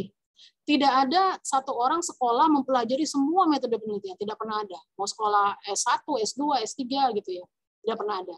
Uh, at the end of the day kita hanya pahami saja ininya saja. Apa sih uh, prinsip-prinsip metodologinya, and then nanti kita misalnya contoh IO. Saya nggak pernah belajar IO di kampus, uh, tapi saya mempelajari prinsip itu, kemudian saya lihat oh ya, oh IO seperti ini, oh CGS seperti ini. Itu gampang untuk masuk ke situ. Uh, sehingga pemberdayaan pegawai ini juga uh, menjadi satu yang apa ya, yang uh, signifikan. Mungkin demikian uh, Bapak Ibu, mohon maaf kalau saya mengambil waktu terlalu lama. Untuk selanjutnya saya kembalikan ke uh, pada moderator Mas Heru. Terima kasih. Uh, baik, terima kasih Bu Ade. Jadi uh, apa namanya pemaparan materinya sangat komprehensif nih, mulai dari apa namanya pengenalan sektor-sektor dalam perekonomian, kemudian uh, keterkaitan antara variabel-variabel di masing-masing sektor sektor dengan sektor lainnya, kemudian pola analisisnya seperti apa, kemudian ada juga masuk ke eh, contoh-contoh uh, metodologi, terus tadi juga sempat disampaikan pula eh, contoh-contoh uh, analisis yang pernah dilakukan di Kanwil Jakarta, dan terakhir ada ada uh, strategi implementasi gitu ya ke depannya seperti apa gitu yang yang perlu kita diskusikan uh, bersama gitu. Uh, baik kalau itu sekalian uh, sekarang saatnya kita masuki seksi diskusi ya. Jadi um, di slideshow sudah ada 8 pertanyaan uh, banyak nih lumayan kemudian di, di uh, yang live ini sudah ada dua pertanyaan ya uh, yang recent uh, mungkin untuk untuk sesi pertama kita uh, sediakan waktu untuk tiga pertanyaan dulu ya Bu Ade ya. Ya siap. Uh, uh, pertama mungkin saya persilahkan uh, yang pertama tadi resen saya Pak Ahmad ya dari Kanwil di CPB Jateng. Uh, monggo Pak Ahmad. Ya, terima kasih sekali Mas Moderator Mas Heri. Terima kasih paparannya Bu Ade. Wah ini sangat bagus sekali nih. sudah sudah adanya KFR sejak tahun 2013 atau 14 ya. Saya baru melihat ini yang paling real ini Bu Ade. Kaget saya yang paling real ini dari 2013 kayak mulai ada KSR ya kalau itu dari 2021 ini belum nanti belum berarti sudah menjalankan semua tapi sudah tidak intinya itu cerita teori yang mendasar kemudian terapannya sampai menggunakan metode yang paling bagus tadi yang apa namanya ada sudah lepas lah istilahnya yang deskriptif tapi kita sudah mulai sudah mulai pengujian itu alangkah bagusnya kemudian juga tadi disampaikan juga ada transmisi mungkin teman-teman ya yang bukan fakultas ekonomi atau di agak kerepotan. Ini kalau ibaratnya mungkin teman-teman ya seperti bapak itu kalau naik motor atau mobil itu hacker menggerakkan apa namanya bisi menggerakkan pembakaran bahwa menjadi hacker kemudian ke dan akhirnya rodanya bergerak nah itulah yang diceritakan Bu Indra itu kurang lebih seperti itu jadi transmisi tadi menggerakkan keempat ya empat bagian tadi ada moneter ada fiskal dan ada eksternal ada sekretariat. Nah itu itu yang kedua. Kemudian yang ketiga Bu Indrati, karena ini yang paling menurut saya paling ideal yang saya pernah lihat ini ibu kalau boleh jadi pilot tank nanti keliling Indonesia bu. Karena teman kami ruangan kami itu ada Pak Suparjito. Saya juga heran ada maaf ya bu. Biasanya yang dokter-dokter itu di Jakarta atau jadi pimpinan ini ada Pak Suparjito. Pak metodenya dibagi ini aja Pak sama seluruh Indonesia jadi punya pola yang sama. Kalau rumus atau metodenya berbeda nanti akan bisa berbeda. Ini yang menarik yang Bu Indrati tadi dipakai aja. Mungkin ya ini usul ke OTL ya uh, PIC-nya OTL usul ini Pak Arno kawan juga ini kawan kuliah ini bisa diterapkan usul ini usul dan semuanya bisa diterapkan nah kemudian yang paling penting ini yang Bu, yang keempat retorinya ya. Teman-teman suka lepas ini Bu, mohon maaf. Suka lepas variabel untuk retori, untuk efektivitas, itu dan sebagainya itu suka lepas. Kita lebih banyak ke makronya, indikator makro itu juga memang benar. Saya setuju sama Bu Indrati, jangan sampai diri kita bisa lepas. Bahkan Bu Indrati tadi menyoroti yang alko, yang alko itu, itu paling penting. Nah, barang-barang kayak gini kita dalami lebih lanjut karena nanti kita gunakan kependanya, kependa terutama. Jadi rekomendasi yang seperti sampaian Bu Indra tadi. Jadi peran kita tadi uh, akan direkomendasikan kepada Pemda. Dan tambahan lagi yang terakhir yang kuliah, setelah rekomendasi jadi, itu masuknya ke penyusunan RAPBD atau musrenjang ya. Jadi kalau pintu masuknya sampai musrenjang itu akan dipakai sedikit anu ya sharing dulu Pak Ismet pernah biasa itu Pak Andi Pak Ismet biasa ikut musrenjang dengan uh, teman-teman di salah satu kantor. Nah itu menjadi masukan untuk penyusunan menjadi APBD. Jadi rekomendasi kita, uh, kalau dosen-dosen kan ini itu dari sudah tahu semua ya seluruh Indonesia ini hampir semua kabupaten punya dosen fakultas ekonomi atau sis ekonomi yang ambil dari dosen mana. Saya yakin penelitian sangat banyak, penelitian ekonomi sangat banyak. Nah, khusus kita yang parabel-parabel tadi, yang parabel koridor yang tidak dimiliki DPR, tidak dimiliki BI, tidak dimiliki OJK dan sebagainya, dimasukkan saja, kemudian rekomendasi tadi dibawa ke, eh, ke penyusunan RAPD atau apa pun namanya, atau musrentan. Kita sebut kira-kira lima hal uh, yang di, intinya saya senang sekali kalau itu bisa menjadi contoh metodenya sama kita. Tapi sekali lagi IC-nya ya mohon ini diakomodir. Mohon maaf ya. Uh, terima kasih. Assalamualaikum warahmatullahi wabarakatuh. Waalaikumsalam warahmatullahi wabarakatuh. Uh, baik, terima kasih Pak Ahmad atas pertanyaannya. Uh, selanjutnya mungkin ke penanya berikutnya. Monggo Pak Tauhid yang terhormat Pak Kepala Kanwil Jawa Timur ini. Monggo Pak Tauhid. Terima kasih uh, Mbak Heru ya. Pertama-tama terima kasih Mbak Ade ini appreciated. Very much appreciated ya. Kayak kira kuliah yang sangat bagus hari ini gitu. Uh, ya baik kita semua tentu yang yang awam mengenai ini ya Mbak Ade. Tadi yang menarik adalah bagaimana kita melihat uh, dampak treasury terhadap sektor-sektor dalam perekonomian. Tadi yang dilihat uh, perekonomian empat itu ya Mbak Ade ya? Iya Pak. Empat, empat tadi, empat ya. itu saya, saya kira itu memang dari rumus ini sebenarnya ya, agregat PDRB ya, apa PDB ya? Iya Pak, betul ya, Pak. sebenarnya dari situ. Ya. Nah, cuman saya itu ingin uh, kita memposisikan kita sebagai treasury seperti, seperti apa sih sebenarnya? Yang kita bicara dampak treasury, berarti treasury adalah something gitu kan ya. Nah, uh, how we can define uh, our treasury, our, our Indonesian treasury? Apakah treasury itu tadi disebutkan oleh Mbak Adek sebagai uh, microfiskal atau atau yang mana gitu ya? Karena uh, undang-undang mungkin seperti itu definisinya. Barangkali kita melihat dari uh, apa namanya konteks lain uh, treasury karena saya saya di mana-mana menyelenggarakan high level treasury dialog Mbak Ade. Oh. Jadi di, di Kanwil ini saya menghitung treasury kita di wilayah ini kan tentu ada dari Pemda, ada dari uh, perbankan, ya.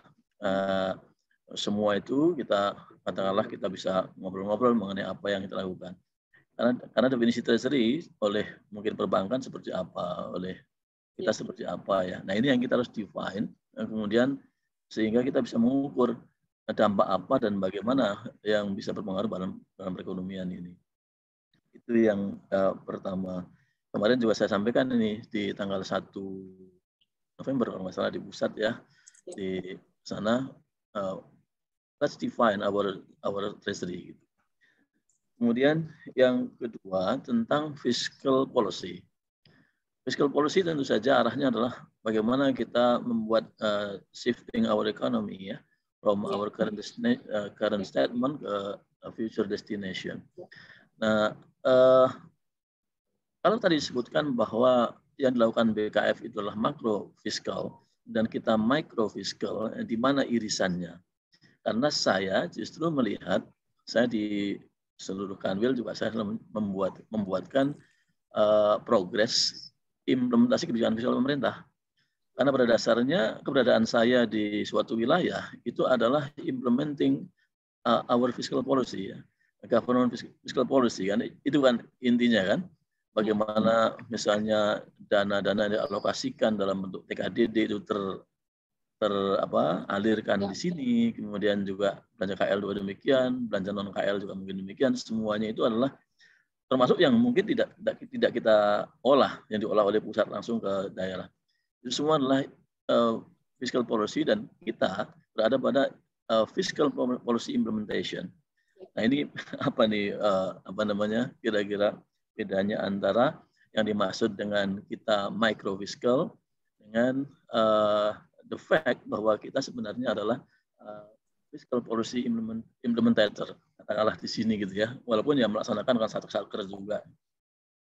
Nah kemudian yang uh, terakhir saya ingin tergelitik juga dan saya pernah menantang juga ke BPS sebenarnya Mbak Ade karena selama pandemi uh, di mana kita sendiri tadi bicara tentang defisit kita sangat tinggi, kemudian kita juga intervensi luar biasa ke perekonomian gitu ya melalui pembelanjaan dan defisit itu. Tapi ini dipandang sebelah mata oleh PPS, mungkin dengan metodologi yang dia pakai. Uh, kemudian saya selalu mengatakan bahwa apa kontribusi pemerintah terhadap pertumbuhan ekonomi itu sangat kecil gitu. Saya bilang, how can you say that? Kenapa ya?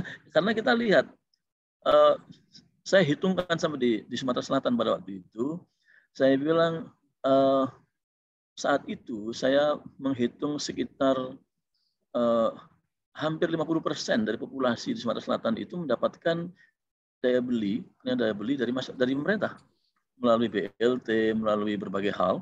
Bahkan saya menghitung juga Mbak Ade, ini yang mungkin kita nggak pernah hitung ya, uh, misalnya seorang pensiunan, daya belinya kan dari hasil pensiunnya ya, dibayar. Kan kita yang bayar juga, walaupun tidak dibayar oleh Kanwil dari pusat. Ini kan ya.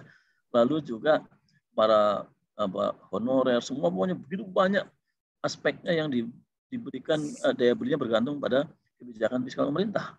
Nah, ini kita dihitung sebelah mata bahwa kita tidak tidak mempunyai apa namanya, tidak mempunyai dampak yang signifikan Padahal nyata-nyata bahwa daya beli masyarakat itu ditopang oleh uh, pemerintah itu. Gitu. Nah ini kira-kira apa yang bisa kita lakukan kalau misalnya kita harus menghadapi mereka. Alhamdulillah kemarin saya di Simsel sepakat dengan Bank Indonesia bahwa tidak bisa kita dikatakan uh, apa namanya pengaruhnya kecil karena kita benar-benar memang mendorong dan apa berkontribusi untuk bagaimana masyarakat itu punya daya beli kemudian bergerak perekonomian sedemikian rupa. Barangkali itu Mbak Ade yang ingin saya konfirmasi ya. Terima kasih uh, atas penjelasannya sebelum sebelumnya. Dan kembali sekali lagi, uh, very much appreciated. Terima kasih. Thank you, sir. Uh, terima kasih Pak Taufik. Uh, mungkin ini untuk sesi uh, pertama ini penanya terakhir ya Pak Haddad dari uh, Aceh. Uh, silakan Pak Haddad. Baik, terima kasih Mas Heru. Selamat siang Mbak Ade. Ya Mas. Jumpa lagi Mbak. Ya. Terima kasih Mbak Ade. Ini membuka uh, banyak sekali cakrawala bagi kita, terutama bagi para penyusun uh, eh, KFR yang karena memang selama ini kita juga menyusun uh, eh, KFR ya pengalaman saya sebagai PLT Kabit PPA 2 yang baru uh, menyusun triwulan 3 kemarin memang kita masih memerlukan banyak sekali analisa terutama dikaitkan dengan kondisi regional yang ada di kanwil kita. Nah, Mbak Ade, ada dua yang menarik dari Mbak Ade tadi ya terkait dengan government spending ini dikaitkan dengan pertama inflasi, terus kemudian di, dengan tingkat kemiskinan. Ini saya bandingkan dengan kondisi yang ada di Aceh, Mbak Ade ya.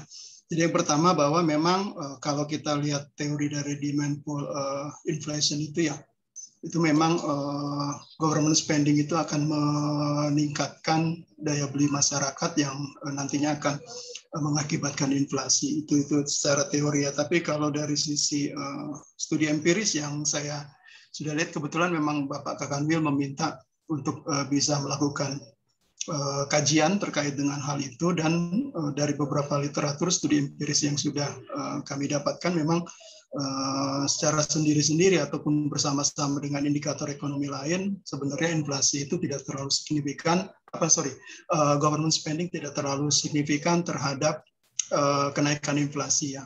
Walaupun memang pasti ada ya, tapi pengaruhnya itu hanya uh, kecil ya, karena memang ada banyak faktor uh, variabel lain yang berpengaruh terhadap inflasi. Itu yang pertama. Terus kemudian tingkat kemiskinan, Mbak Ade. Jadi uh, Aceh ya, kondisi di Aceh, TKDD itu uh, peringkat ke-6 kalau nggak salah ya transfer ke daerah dan dana desanya peringkat ke-6 seluruh Indonesia tapi yang mengherankan adalah bahwa tingkat kemiskinan di Aceh itu termasuk yang paling tinggi ya 15,43 paling tinggi se uh, Sumatera. Ya jadi uh, padahal dana yang digelontorkan terutama dari uh, BLT dana desa ini kan kita berharap bahwa BLT dana desa setidak-tidaknya meningkatkan daya beli para keluarga PKM ya. Keluarga masyarakat yang menerima BLT ini ada sekitar 133 ribu kalau nggak salah di Aceh ya, dibandingkan dengan jumlah penduduk Aceh yang 4,5 tapi ternyata itu tidak meningkatkan uh, secara signifikan tidak meningkatkan atau menaikkan uh, menurunkan tingkat kemiskinan di Aceh. Nah, uh, kami mohon disuplai Mbak Ade kalau bisa ada beberapa studi empiris yang mendukung itu tadi uh, government spending yang memang meningkatkan inflasi dan juga sebenarnya government spending bisa uh, diharapkan menurunkan tingkat kemiskinan. Mungkin itu Mbak Ade. Terima kasih. Sekali lagi saya uh, sangat berterima kasih sekali atas materi yang disampaikan oleh Mbak Ade. Selamat siang.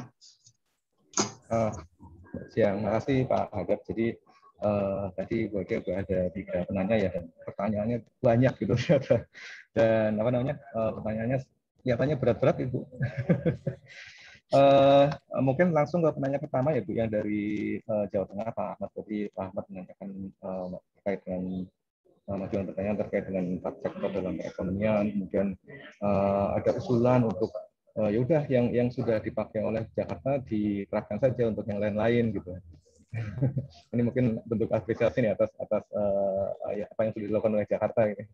Kemudian uh, masalah treasury juga ya jangan sampai lepas tadi ya dan Pak, Pak Ahmad juga sepakat kalau apa namanya alko tadi itu uh, uh, cukup bagus gitu ya karena itu menyentuh ke treasury. Kemudian setelah jadi rekomendasi apa yang kita masuk yang apa yang kita hasilkan dari KFR gitu misalnya itu kalau bisa agar bisa dijadikan masukan bagi secara real gitu ya bagi Pemda baik dalam penyusunan APBD maupun dalam proses mungkin di musikan bank gitu ya.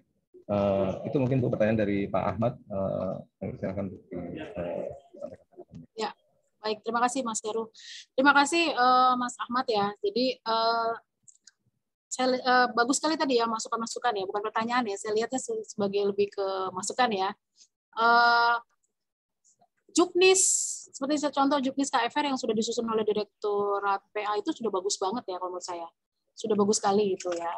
Cuma nanti tinggal apa dipetakan lagi mana memang yang lepas variabel treasury-nya. Misalnya kita misalnya NTP NTN gitu ya. Analisis NTP NTN itu variabel treasury-nya di mana ya? Oke, dari realisasi belanja eh, apa tuh tadi saya katakan pertanian. Ya, di mana gitu. Dari sisi alokasinya kalau alokasi bukan bukan treasury, alokasi itu ada di DJA. Dari sisi mananya treasury-nya gitu loh. Itu yang mungkin perlu di klarifikasi lagi gitu ya. Jadi clear posisi treasury-nya itu di mana. Ya, karena saya lihat banyak yang blur. Contoh tadi yang contoh kita uh, analisis penyaluran TKDD di DKI Jakarta. Uh, at the lepas treasury-nya itu adanya di DJPK atau fungsi alokasinya DJA. Nah, itu mungkin yang perlu diklarifikasi di situ. Mungkin uh, yang sudah bagus itu bisa memang nggak bisa satu kali jadi ya kalau menurut saya ya perlu ada tahapan-tahapan uh, untuk benar-benar yang saya dengar yang arahan dari Pak Ses adalah tracer itu fondasinya kelihatan. Jangan sampai kita jadi RCE fondasi treasury-nya hilang gitu. Gitu ya. Nah itu yang uh, perlu dipetakan secara detail. Saat, saat saat ini sendiri saya seperti tadi saya exercise exercise saya Mas Ahmad itu masih exercise sederhana. Ya bisa kita edit kompleksitinya gitu loh. Nah, tapi itu memang butuh teamwork ya yang luar biasa. Saya rasa teman-teman tim champion di kantor pusat juga sudah memikirkan ya. Uh, mungkin dari apa timnya Pak Harno, uh, Pak Ismail dan kawan-kawan juga. nah, tapi masukan yang bagus. Dan memang saya juga sepakat karena ini juga idenya dari kantor pusat bahwa akan ada metode yang terstandardize gitu ya. Sehingga uh, pada saat juga nanti uh, uh, analisis kalau ya dia terstandardize satu keuntungannya apa? Bisa dilakukan analisis komparasi. Kedua dia dapat dikompilasi karena kita nggak bisa mengkompilasi apa-apa yang tidak ada standarnya. Jadi nanti pada saat uh, pimpinan kita mau merumuskan satu kebijakan, either itu kebijakan di bidang treasury atau lintas sektor ekonomi itu lebih uh, sifatnya evidence based ya. Nah, kemudian misalnya rekomendasi-rekomendasi KFR dipakai di daerah untuk musrenbang. Ya mungkin silakan-silakan saja ya Mas ya kalau saya ya. Ya, tapi uh, apakah linknya langsung terkait ke sana? Saya nggak tahu gitu ya. Karena kembali lagi posisi kita treasury, kita ada namanya DJA. ya uh, saya mohon maaf ya Bapak Ibu ya, mohon maaf ini uh, pendapat pribadi gitu ya, karena saya pernah belajar spending review di Belanda, belajar ke Kementerian Keuangan Belanda mengenai spending review. Spending review itu somehow uh, ranahnya penganggaran, ya. Tetapi kalau dia mau dibawa ke ranahnya treasury, fine. Tapi tadi yang sempat sampaikan kalau treasury mau mengukur alokatif efisiensi secara konsep ya bukan alokatif efisiensi yang di konsepnya PA itu bukan. Alokatif efisiensi itu apakah anggaran itu telah tergelontorkan sesuai dengan prioritasnya? Itu alokatif efisiensi. Jadi kalau dia prioritas tiga ternyata jumlah anggarannya di uh, anggaran ke 10 berarti dia alokatif efisiensinya tidak tercipta. Itu ada di ranahnya DJA sedangkan kalau bicara tentang agregat efisiensi itu ada di ranahnya eh, BKF dengan mungkin Bappenas duduk bersama. Ya seperti itu. Nah, uh, jadi itu uh, silakan uh, kalau memang bisa ya bagus sekali itu. Kalau Jateng bisa memang uh, KFR bisa langsung diinsert atau diintegrasikan dalam kebijakan apa Pusat memang itu luar biasa. Mungkin bisa dilaporkan ke Pak Dirjen itu satu prestasi yang luar biasa.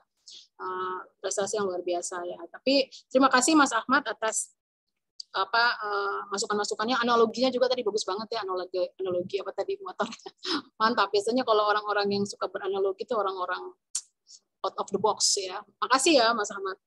Uh, kemudian kedua, wah ini Pak Pak Taufik ini mentor saya ini. Saya dikompre nih Pak. Wah, Bapak kompres saya nih. Siapa? Jadi pertama Pak, how we can how we can divine treasury. I think this is the same old question people have been asking over uh, and over again uh, from time to time gitu ya. Karena treasury-nya uh, at the end of the day, treasury is based on context. Treasury-nya Australia konteksnya berbeda dengan treasury-nya Belanda. Treasury-nya Belanda berbeda konteksnya dengan treasury-nya Singapore. Nah, sekarang tinggal komitmen pimpinan. Uh, uh, mungkin Pak Tohid yang lebih tahu lah ya Pak, how we can define treasury. Mau ambil posisi di mana treasury-nya? Apakah hanya mau fokus treasury dalam arti sempit ya gitu ya Pak. Ya silakan itu kan kembalikan ke pimpinan Pak. Apakah treasury dalam arti luas gitu. Dalam arti luas yang kalau menurut saya sekarang ini udah agak arti luas juga ya. Sampai-sampai ke mana-mana ini arti luas. Apalagi nanti mau ada integrasi treasury integrated ya. Katanya manajemen investasi itu part of treasury gitu ya dan seterusnya itu kan dalam arti luas. Nah itu saya nggak bisa jawab itu Pak, mohon, mohon maaf Pak. It's not my area of expertise, ini areanya Pak Tohid malah ini sebagai pakar undang-undang keuangan negara. Tapi saya bisa jawab yang nomor dua Pak. Yang nomor dua, uh, mungkin saya jelaskan kenapa saya mengatakan dia itu mikrofiskal ya. Jadi kenapa saya katakan itu eh, itu kan uh, apa ya? Nah tadi yang nih seperti ini. Jadi kalau bicara tentang fiskal, bicara tentang kebijakan fiskal, sebenarnya uh, dalam bahasa OECD gitu ya, itu adalah budgeting. Dalam bahasa OECD kalau fiskal itu budgeting. Artinya insert anggarannya. Jadi kalau misalnya uh, fiskal diimplementasikan, nah boleh bisa dikatakan implementasi fiskal. Tetapi boleh juga saya uh, dengan perspektif saya saya mengatakan mikrofiskal. Kalau tadi perspektifnya Pak Tohid implementasi fiskal, gitu ya Pak ya ya nggak apa-apa. Tetapi oh, pada saat orang mengatakan fiskal itu dia selalu meng, uh, menganalogikannya dengan proses penganggaran. Jadi pada saat kebijakan fiskal ekspansif, apakah anggaran belanjanya ditambah? Bukan apakah anggaran belanjanya terrealisasi, bukan. Tapi apakah anggaran belanjanya ditambah dulu gitu ya. Nah, makanya untuk uh, sampai dia benar-benar anggaran belanjanya ditambah itu menciptakan transmisi terhadap perekonomian, maka perlu adanya mikrofiskal yang mendukung makrofiskal itu bisa berhasil gitu. Nah, bicara tentang makrofiskal, maka dia akan fokus nanti kepada disiplin fiskal saja. Makanya agregat belanja berapa, agregat pendapatan berapa, agregat defisit berapa, agregat utang terhadap PDB berapa. Itu disiplin fiskal. Dia fokusnya di sini. Makanya saya katakan dia makro karena fokus pada agregat. Undang-undang APBN kan agregat ya Pak Pak Tohid yang buat undang-undangnya. Saya nggak pernah ikut-ikutan ya undang-undang APBN agregat. Terus di, di apa di didetailkan dalam Perpres rincian APBN baru ke DIPA. Nah DIPA itu kan mikro. Kita kan ada di pelaksanaan DIPA. Ya, jadi makanya tadi kalau bicara tentang uh, public expenditure management tingkatannya mulai dari ini efisiensi alok agregat efisiensi artinya disiplin fiskal, alokatif efisiensi artinya efektivitas, operasional efisiensi artinya efisiensi ya. Jadi bukan berarti katanya ini efisiensi efisiensi artinya efisiensi tidak. Efisiensi adalah output per input yang paling terjaga. Itu efisiensi. Uh, kita kalau ekonomis inputnya nol outputnya nggak dapat nggak apa-apa. Nah, jadi pada saat saya, apa alasan saya mengatakan mikrofiskal? Karena treasury ada di efisiensi operasional, oh, Pak Pak Kanwil, gitu ya. Dia tidak berada di fokus pada agregat fiskal. Makanya agregat fiskal itu adalah makrofiskal. Itulah BKF dengan BJA. Kita nggak ada di berada di ranah itu. Itu yang uh, apa sih uh, alasan saya mengapa saya mengatakan treasury mikrofiskal. Walaupun yang dikatakan oleh Pak Kandul itu benar sekali. Kita adalah implementasi kebijakan fiskal. Ya itu sangat-sangat benar gitu. Cuma ini cuma perspektif saja untuk membreakdown bahwa variabel dari mikrofiskal itu berbeda dengan variabel uh, makrofiskal. Supaya nanti kita nggak ke, ke apa ketelingsut. Jadi saya sepakat bahwa yang namanya treasury adalah implementasi fiskal, tetapi dalam konteks uh, public policy, dikotomi antara policy dengan implementasi udah nggak ada lagi. Karena nanti di ranah implementasi fiskal kita juga somehow katanya merumuskan kebijakan fiskal, tapi itu uh, suatu isu yang berbeda. Kemudian nomor ketiga kontribusi uh, pemerintah terhadap ekonomi, ya, itu the size of government dulu.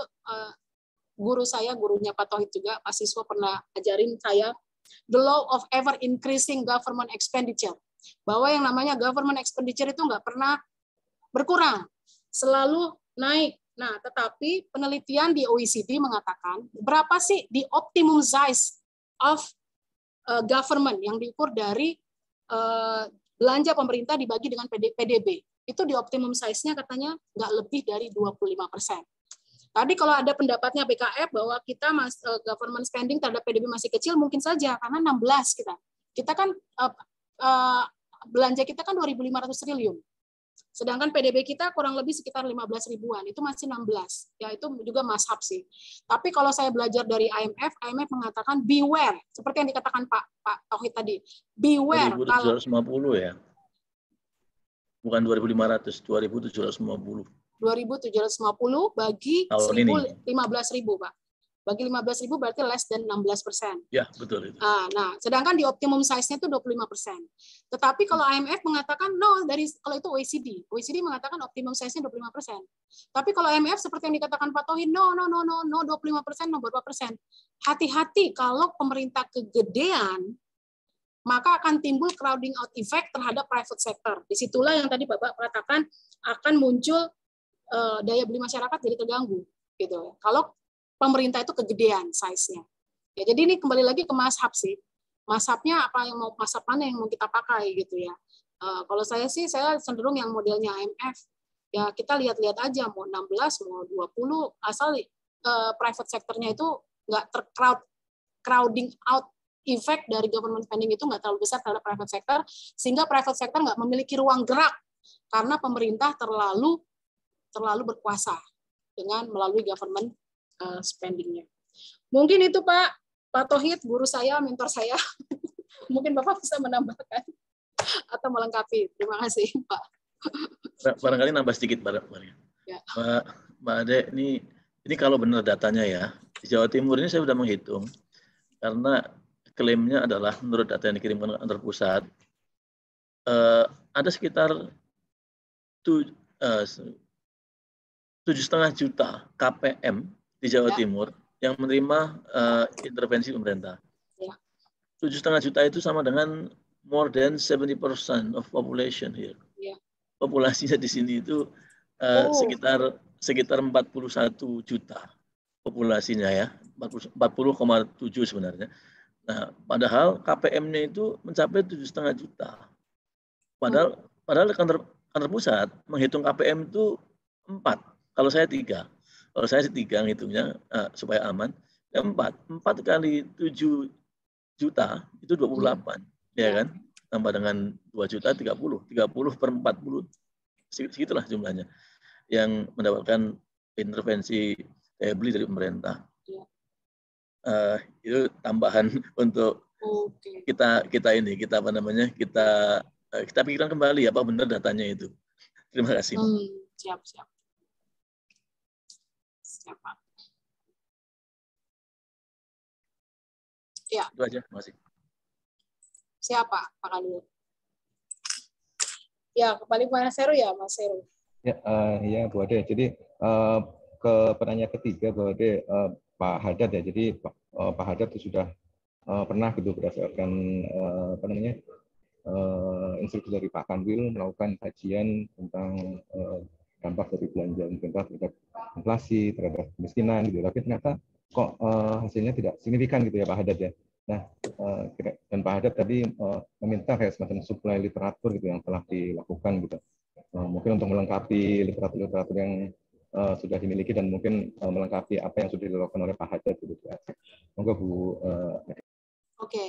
Jadi memang uh, apa Pak Haddad memang kadang-kadang uh, bukan kadang-kadang sering ya teori uh, misalnya gini kita mau menguji dia misalnya menguji. Tadi kan apa apa setelah diuji tidak ada gitu ya hubungan antara government spending mengakibatkan inflasi di Aceh gitu ya.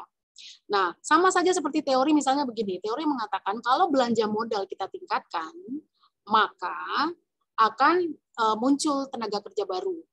Ya, maka tenaga kerja baru, ekonomi bergerak, ekonomi bergerak, uh, investasi meningkat, konsumsi meningkat, uh, PDB, PDB, PDRB meningkat. Tetapi ada konteks, walaupun belanja modal itu kita tingkatkan, ternyata tenaga kerja nggak ada yang bergerak. Di sinilah butuh penelitian kualitatif yang konteks spesifik. Ya, konteks spesifik. Tadi kalau misalnya government spending uh, ternyata nggak menimbulkan inflasi. Nah, sekarang pertanyaan government spendingnya cukup besar apa kecil itu kan nanti perlu dilihat gitu ya. Jadi kalau secara secara teori bisa saja secara teori dia memang harusnya menimbulkan uh, efek, tetapi pada saat uh, kenyataannya tidak menimbulkan efek, di situlah kita harus cari untuk memberikan policy recommendation atau policy advice. Nah nanti mengenai supply bisa bisa Mas Hadat ya nanti kita, kita supply sekarang tuh enak banget ya nyari jurnal nggak kayak dulu zaman dulu saya sekarang nyari jurnal di mana-mana dapat gitu ya dari PNRI dari Google Scholar dari Ski Hub dari wah macam-macam lah Mas Heru lebih paham itu ya yang lagi yang masih fresh ya Mas Heru ya gitu ya nanti kita ini Mas Hadat ya kita kontak-kontakan Siap. thank you ya, terima kasih Uh, baik, makasih Pak Hajar dan Pak Jadi uh, selanjutnya kita beralih ke sesi kedua tanya jawab ya. Ini di uh, room uh, Zoom juga sudah ada satu yang resen. Nanti uh, sama seperti sesi pertama tadi kita ambil tiga pertanyaan. Satu dari Pak Ibnu dari PPK BLU dan nanti dua saya ambilkan dari Saido. Uh, untuk uh, pertanyaan pertama mungkin pada Pak Ibnu uh, dipersilahkan. Mohon dipersingkat ya Pak Ibnu ya. Oke. Ya. Uh, mohon izin Mas Heru. Ya uh, Bu Ade mau izin bertanya ini terkait uh, materinya. Siap. Uh, ada dua pertanyaan ini. Ya, yang satu mungkin saya nggak tahu ya apa tanyakan ke Bu Ade atau enggak ya. Ini mau izin nggak menyalakan kamera karena koneksinya kurang stabil di sini. Siap. Uh, terkait uh, komitmen ya, komitmen dari organisasi nih di Kanwil. Kalau kita, uh, mungkin Bu Ade juga tahu ya, kalau kita mau ngolah data pasti kan butuh aplikasi ya, aplikasi ya. statistik ya. terkait mungkin EViews, uh, SPSS atau ya Stata yang dan lainnya dan yang lain deh. Nah, lisensinya itu kan pasti berbayar ya.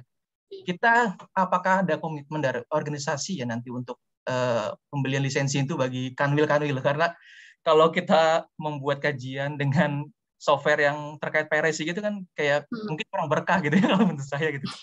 terkait juga sama yang tadi pembahasan jurnal itu ya. Hmm. Tadi Bu Ade bilang ada Sci-Hub itu kan itu kan juga termasuk kegiatan PRSI ya menurut saya. Apakah nanti ada komitmen dari organisasi? Sci-Hub bukannya legal itu? Legal itu ya berarti ya? Oh, legal iya. bukan, bukan legal ya? tahu saya enggak sih itu. Oh enggak ya? Kayak dia maaf, maaf, ngedikot, ngedikot yang berbayar gitu masalahnya. Mohon maaf. Jadi apakah ada nanti uh, komitmen dari organisasi untuk menyediakan fasilitas itu kepada semua kanwil gitu ya terkait ini. Terus yang kedua ini Bu, ya. terkait tadi kan, Pak ini mohon maaf kalau salah, di, mohon dikoreksi ya. Tadi yang dibahas itu kan terkait metode-metode yang uh, di ekonometrika ya. Uh, kalau kalau yang saya tangkap yaitu uh, sampai di tahap diagnostik atau deskriptif ya.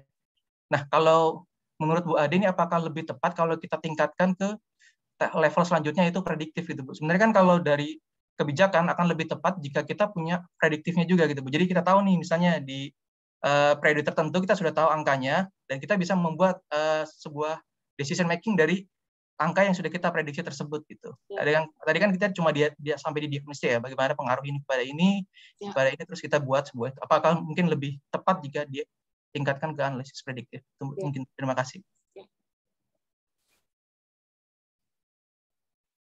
Baik, terima kasih uh, Pak Ibnu. Jadi ada dua pertanyaan ya uh, masalah um, komitmen organisasi menyediakan software dan masalah OTL itu. apakah OTL. OTL yang saya jawab itu.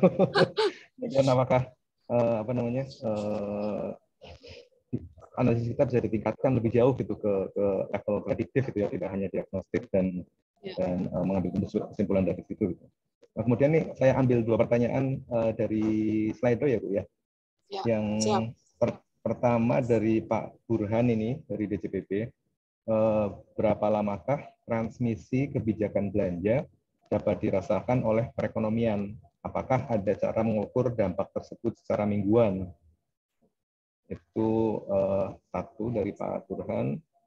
Kemudian uh, satu lagi saya ambil dari pertanyaannya Pak Gafur nih dari Kalsel. Uh, apakah opini laporan keuangan Pemda berpengaruh secara langsung terhadap uh, ekonomi regional atau butuh variabel lain yang memediasi keterkaitan variabel-variabel tersebut. Uh, itu Bu, jadi uh, ada tiga penanya ya dari uh, Pak Ibu tadi, Pak Burhan, kemudian yang terakhir uh, Pak Gofur. Oke, okay. gimana uh, Pak Harno mungkin ingin menjawab? Izin Pak Harno atau Mas Oke, makasih Bu Bu Windrati. Eh, luar biasa tadi paparannya. ini kayaknya harusnya dapat ini nih. Ini uh, eh, FGD yang luar biasa. Tadi dapat pencerahan juga dari Pak uh, Kanwil Jatim. Makasih Pak Tauhid atas pencerahannya tadi dan beberapa hal yang sehingga kita ini. Uh, terkait dengan pertanyaan tadi, uh, saya coba akan coba Pak Ibnu ya dari PPK BLU ya. Intinya bahwa uh, apakah nanti ke depan itu organisasi menyiapkan suatu software yang sifatnya dalam tools-tools untuk melakukan analytical ini. uh, kalau di desain penataan organisasi kita itu walaupun sampai saat ini belum uh, eh, apa itu di SCTP itu sudah ada PMK terbaru 118 yang mana nanti konsep big datanya eh, terkait dengan penyediaan data yang akan digunakan eh, kantor vertikal maupun kantor versi eh, pusat untuk melakukan data analytical nanti uh, baik dari data mining, dari data apa itu data yang sudah warehouse yang sudah siap untuk dipakai dalam rangka bisnis intelijen itu sudah kami siapkan di penataan organisasi di PMK 118. Nanti terpusatnya di di, uh, di SITP, nanti bisa SITP akan menyediakan kebutuhan datanya.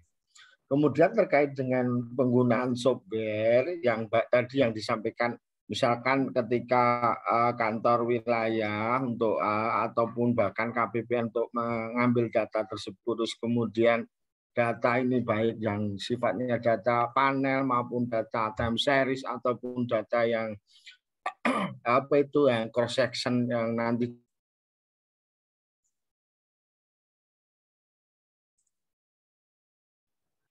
Arno izin ke mute.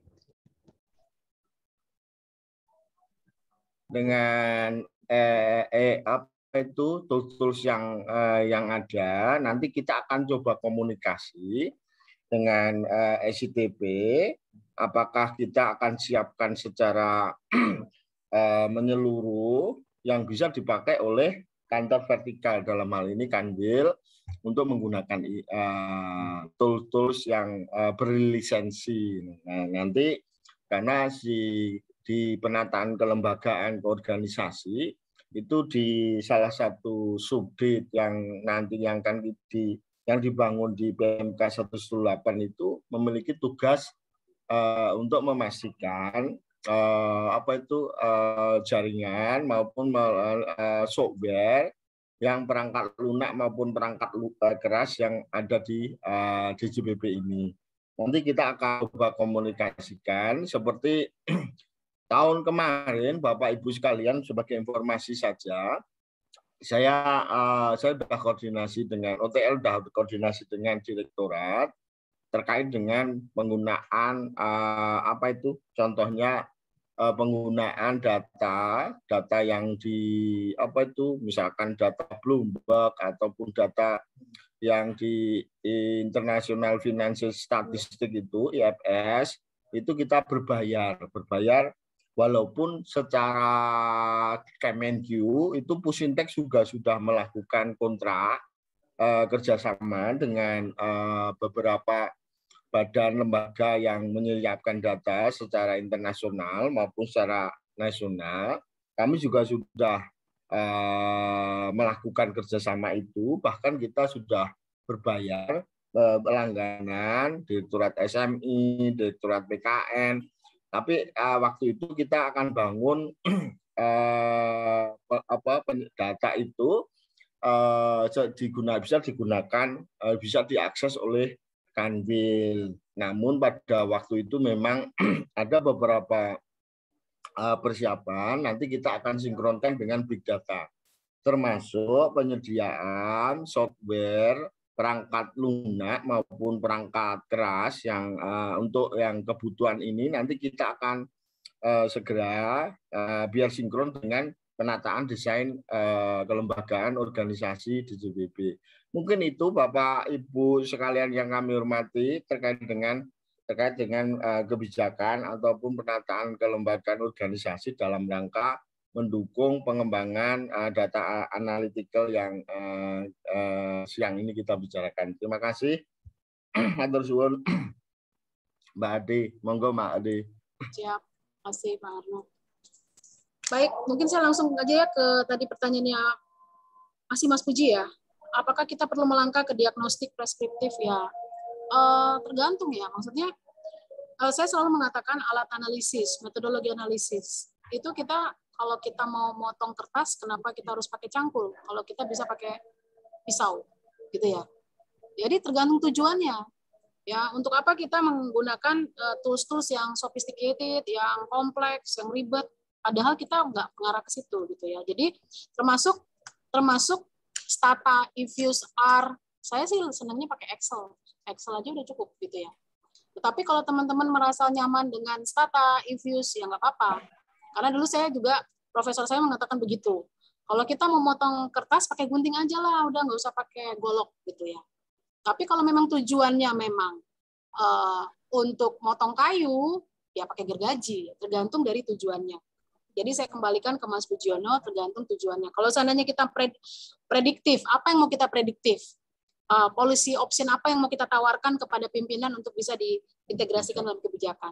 saya view yang ya. yang mungkin ke, kemudian dari Pak Mas Burhan ya berapa lama transmisi fiskal itu eh, termanifestasi atau ya dalam perekonomian ya jadi eh, transmisi fiskal itu kan eh, bisa diukur melalui multiplier effect sebenarnya. Nah multiplier effect ini dia gede atau kecil ada ukuran-ukurannya. Tergantung pertama instrumen apa yang dipakai. Penelitian mengatakan uh, instrumen pajak itu multiplier efeknya selalu lebih kecil daripada instrumen belanja gitu. Kemudian kedua dari uh, apa namanya uh, ukurannya. Ukurannya gede enggak gitu. Dari size of size of uh, fiskalnya belanjanya yang mau kita gelontorkan gede banget nggak material nggak signifikan nggak jadi itu menentukan berapa lama dia bisa tertransmisi ke dalam variabel variabel dalam perekonomian termasuk uh, variabel makroekonomi fundamental. Nah, tetapi in general secara secara umum rule of thumb-nya yang namanya kebijakan fiskal itu medium and long term. Tetapi monetary uh, itu lebih kepada short term dia. Uh, apa uh, terlihat dalam perekonomian. Terakhir dari Mas Gafur, apakah opini keuangan Pemda berpengaruh terhadap variabel uh, apakah opini keuangan Pemda berpengaruh terhadap makroekonomi dan apakah ada variabel-variabel lain. Nah, itu yang perlu dicari. Menentukan variabel apa yang mau diregres dengan variabel apa, itu bukan cuma kita suka-suka saja. Itu harus diderive dari teori dan konsep. Kalau teori dan konsepnya nggak ada, harus dilakukan studi pendahuluan. Salah menentukan variabel dependen, salah menentukan variabel independen, salah menentukan variabel intervening, dan salah menentukan variabel kontrol, itu juga akan membuat jadi salah. Makanya dalam penelitian-penelitian uh, formal di universitas, ada orang-orang buat tesis. Dari awal sudah salah menentukan variabelnya, pada saat hipotesisnya di reject, gitu ya, maka dia akan melakukan data mining, which is kriminal dalam dunia akademik, gitu ya. Mungkin Mas Heru juga paham itu ya. Nah, makanya untuk menghasilkan hubungan variabel-variabel itu butuh yang namanya uh, literatur review atau kita nggak usah ngomong literatur review itu kan bahasa universitas ya. Tetapi apa ya studi-studi pendahuluan lah ya. Jadi kalau misalnya kita harus lihat dulu apa sih uh, studi-studi pendahuluan terkait opini keuangan Pemda itu saya pernah lihat studi yang mengenai ada pengaruh opini keuangan suatu perusahaan swasta terhadap eh, opini laporan keuangan terhadap suatu perusahaan private terhadap kinerja keuangannya. Tetapi kita nggak bisa langsung tarik-tarik variabel nanti pada akhirnya reject semua gitu ya. Nah, saya nggak bisa menjawab apakah yes or no itu perlu adanya lagi uh, literatur review yang lebih detail untuk menentukan variabelnya. Mungkin demikian Mas Peru, Mas, Mas Heru. Ya, terima kasih Bu Ade. Jadi ya uh, apa namanya? Di slide itu ini Bu. Sekarang ada tambahan Bu. Jadi banyak pertanyaannya ada 12 sepertinya tidak mungkin kita bahas semuanya nih karena waktunya tinggal sedikit lagi ya, ya. tapi ini uh, untuk sesi berikutnya saya pilih uh, di, uh, mungkin dua dulu kali ya. Nanti takutnya waktunya nggak cukup ya. Uh, yang pertama dari Pak Ahmad uh, tadi disampaikan bahwa transmisi kebijakan moneter itu cepat ya dampaknya gitu ya. Tapi cepat, ya. kenapa ya kenapa bunga bank tidak langsung turun ketika BI menurunkan suku bunga? Itu pertanyaan dari Pak Ahmad. Uh, selanjutnya dari Pak Chandra, uh, apa saja belanja pemerintah dalam program PCPEN yang memiliki dampak treasury terhadap sektor-sektor dalam uh, perekonomian? Mohon dapat diberikan contoh metode analisisnya. Itu Bu, dua pertanyaan. Oh ya. Mengapa bunga bank tidak turun pada saat BI menurunkan suku bunga acuan ya? Ya, kalau suku bunga acuan turun kan bank harus turun toh. Maksudnya saya kurang paham ini. Mungkin ada yang bisa membantu saya. Alasan bank sulit menurunkan suku bunga kredit ya, saya nggak tahu ya. Mungkin hmm, ada hitung-hitungan mengenai apa namanya rasio-rasio yang harus dia pertahankan atau misalnya minimal saya kurang paham ya. Tetapi yang paman saya kalau suku bunga acuan turun maka bunga bank juga harus turun gitu. Uh, maksud saya bukan uh, transmisi dari bank sentral kepada bank bukan bukan transmisi dari bank sentral kepada bank komersil tetapi transmisi kebijakan moneter terhadap perekonomian. Hari ini hari ini BI membuat suku bunga acuan itu menjadi nol, maka berbondong-bondong orang akan menarik uangnya itu ke sektor perekonomian. Jadi saya kurang paham kalau dari kenapa BI Bank Sentral melakukan ini, tapi bank komersial itu nah saya kurang paham. Mungkin ada uh, rules rules of the game dari bank yang masih membolehkan dia mempertahankan suku bunga existingnya. Nah itu saya nggak tahu. Tapi yang saya mau tadi saya katakan lebih kepada transmisi kepada sektor ekonomi sektor perekonomian. Kemudian yang kedua tadi apa ya Mas Heru ya? Saya bisa lupa. Yang terakhir apa ya Mas Heru ya? Uh, ya, Bode. Apa saja uh, belanja pemerintah dalam program PCPEN yang memiliki dampak treasury terhadap sektor-sektor dalam perekonomian? Uh, mohon dapat diberikan contoh metode analisisnya. Uh, metode analisisnya kita ke mana pakai CGE ya. CGE kita mengatakan bahwa uh, yang namanya yang namanya penempatan pen ya penempat pen itu pen ada penempatan uang terhadap Bank DKI. Yang namanya penempatan uang terhadap Bank DKI ternyata dia menggerakkan uh, menggerakkan sektor sektor-sektor terkait. Itu kita pakai analisis apa tadi? CGE tadi ya. Itu metodenya, tapi memang softwarenya nggak ada di kita. Softwarenya waktu itu kita minjem dari universitas. Katanya softwarenya itu harganya 100 juta. kita nggak punya gitu ya. Uh, itu itu salah satu salah satu contoh. Nanti kami bisa share analisis kajian pennya uh, DKI Jakarta. Nanti bisa dilihat bagaimana uh, kami menganalisis uh, anggaran pen itu dan dampaknya terhadap perekonomian dan dari aspek treasury-nya kebijakan treasury apa yang harus diambil itu kami rekomendasikan di sana juga. Mungkin nanti bisa uh, kita share. Itu Mas Heru, terima kasih. Baik, terima kasih Bu Ade. Uh, ini masih ada tiga menit Bu Ade, jadi uh, mohon izin untuk menambahkan mungkin satu pertanyaan lagi kali ya dari ya. Slido ya. Um, saya ambil dari pertanyaannya Pak Suntari dari Kanwil uh, Provinsi Kalteng. Uh, mengapa dengan variabel treasury penelitian kita sebaiknya pengukuran efisiensi atau operasional bukan pada pengukuran efektivitas. Uh, begitu Bu Ade pertanyaan. Ya, ini bicara tentang konsep sih ya, bicara tentang konsep. Ya, konsepnya adalah bicara tentang efektivitas. Efektivitas itu uh, kita mengukurnya harus mulai dari proses perencanaannya. Itu ada di penentuan prioritas di Bappenas dan atau Bapeda dalam hal ini. Itu bukan ada di ranah Kementerian Keuangan.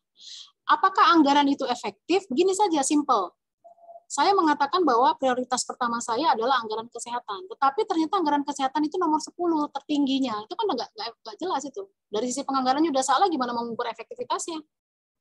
Jadi logi, eh, konsep dari penganggarannya itu asumsinya harus terpenuhi dulu, baru kita bisa mengukur efektivitasnya. Dan untuk memastikan asumsinya terpenuhi, itu bukan di ranah treasury. Itu ada di ranahnya DJA dan di ranahnya Bapenas, menurut saya. Tetapi kalau di ranahnya Treasury, which is Direktorat Jenderal Perbendaharaan, kan kita ngomonginnya pembayaran ya, pembayaran anggaran toh, penyaluran anggaran. Pada saat anggaran itu disalurkan habis, kan pertanyaannya apakah outputnya ada atau outputnya kabur semua hilang, gitu kan? Nah di situ kita bisa ukur ranah Treasury. Tetapi kalau bicara tentang efektivitas, wah itu kita harus ukur dulu asumsinya udah benar belum, ya kan? Asumsinya benar itu ada di orang lain gitu ya apalagi bicara uh, mengukur efisiensi agregat dari fiskal nah, itu ada di BKF ya BKF yang sifatnya lebih nasional gitu bukan di ranahnya treasury di kita di Direktorat Jenderal Perbendaraan jadi kalau kita memang benar-benar mau melakukan spending review ya kita saya sih cenderung propose fokus ke operasional efisiensi. Bahkan kalau di Belanda, spending review itu diserahkan ke KL-nya. Menteri Keuangan cuma ngecek, oh ya spending review kamu tercipta efisiensi sekian euro, yang ini inefisiensi sekian euro. Yang tercipta efisiensi, saya kasih kamu budget dividen. Yang ter, tidak tercipta inefisiensi, kamu saya potong anggarannya. Bahkan di Inggris ditutup KL-nya kalau eh, efisiensi tidak tercipta. Jadi Kementerian Keuangan dalam hal ini DJPP atau DJA cuma ngelihat aja apa yang dilakukan KL. Gitu ya. Itu alasan kenapa saya mengatakan kita harusnya fokusnya kepada operasional efisiensi. Gitu Mas. Ah, baik, terima kasih banyak Bu Ade. Uh, ini mohon maaf, uh, karena waktunya sudah jam 12 yeah. ya, jadi uh, mohon maaf masih ada beberapa pertanyaan di uh, Slido yang belum terjawab. Uh, terus satu lagi Bu Ade, kita tadi diminta oleh uh, panitia untuk uh, memilih gitu penanya uh, untuk mendapatkan souvenir Nah, menurut informasi dari panitia, uh, sebenarnya ada 10. Tapi tadi pertanyaan yang disampaikan, yang bisa di, kita uh, tanggapi ada 9 gitu. Jadi uh, dengan begitu mungkin ini ya, semua yang Semuanya dapat. Penanya-penanya yang... Wow, yang, apa tuh souvenirnya? uh, nanti mungkin dari pihak uh, panitia akan menghubungi ya. Jadi tadi ada Pak Haddad, ada Pak uh, Tauhid, ada Pak Ibnu, kemudian Pak Fajar dari uh, Jawa Tengah, selanjutnya tadi ada Pak uh, Burhan, Pak saya lupa nih tadi apa saja, oh, Pak Chandra, Pak Ahmad dari Kanwil Babel, kemudian Pak Suntari, ya semua yang nanya tadi pokoknya di inilah didapat uh, souvenir gitu. Selamat uh, untuk yang dapat souvenir. Selamat. uh, baik. Uh, Eh, dengan uh, berakhirnya acara diskusi ini berarti uh, berakhir juga uh, acara FGD uh, kali ini. Uh, terima kasih Bu Ade atas sharing uh, apa namanya uh, sharing materinya, sharing uh, ilmunya. Gitu. Jadi, ini sangat bermanfaat bagi rekan-rekan uh, kita di Kanwil, terutama yang sedang uh, mendapatkan tugas untuk menjadi uh, regional chief economist. Uh, harapannya ini menjadi diskusi terakhir gitu ya, bakalan ada diskusi-diskusi lanjutan karena output yang diharapkan itu kan nanti ada ada suatu apa namanya metode yang ter terstandarisasi gitu ya, dan tadi juga ada uh, beberapa rekomendasi-rekomendasi yang yang mungkin memang perlu kita diskusikan gitu di uh, di ke depannya gitu. Uh, mungkin uh, itu dari saya. Uh, terima kasih atas uh, partisipasinya Bapak Ibu sekalian. Uh, mohon maaf uh, bila ada kekurangan dalam memandu acara ini. Uh, saya tutup. Assalamualaikum warahmatullahi wabarakatuh. Uh, waktu saya kembalikan ke uh, Ibu uh, Mbak MC ya, Mbak Dita ya. Silakan Mbak Dita. Baik, terima kasih kepada Ibu Ade dan Bapak Heru selaku narasumber dan moderator atas insight yang mencerahkan kita semua. Terima kasih Ibu, terima kasih Bapak. Terima Baik, kasih. Bapak Ibu. Baik, terima kasih Ibu. Semoga selalu sehat Ibu dan Bapak. Baik, Bapak Ibu yang berbahagia, sebelum mengakhiri acara ini, mari kita mengabadikan momen berharga ini dengan berfoto bersama. Bapak dan Ibu, kami mohon untuk dapat berpose di JPB Handal, yaitu dengan meletakkan tangan terkepal di depan dada seperti ini. Kami persilahkan. Kami mohon untuk bersiap dan akan kami ambil dalam tiga kali capture. Yang pertama, tiga, dua, satu. Kedua, tiga, dua, satu. Dan yang terakhir, tiga, dua, satu. Terima kasih Bapak Ibu. Baik Bapak Ibu. Baik, terima kasih Ibu. Baik Bapak Ibu yang berbahagia, seluruh rangkaian acara fokus group discussion pola dan metode analisis dampak treasury terhadap sektor-sektor dalam perekonomian telah paripurna kita ikuti bersama.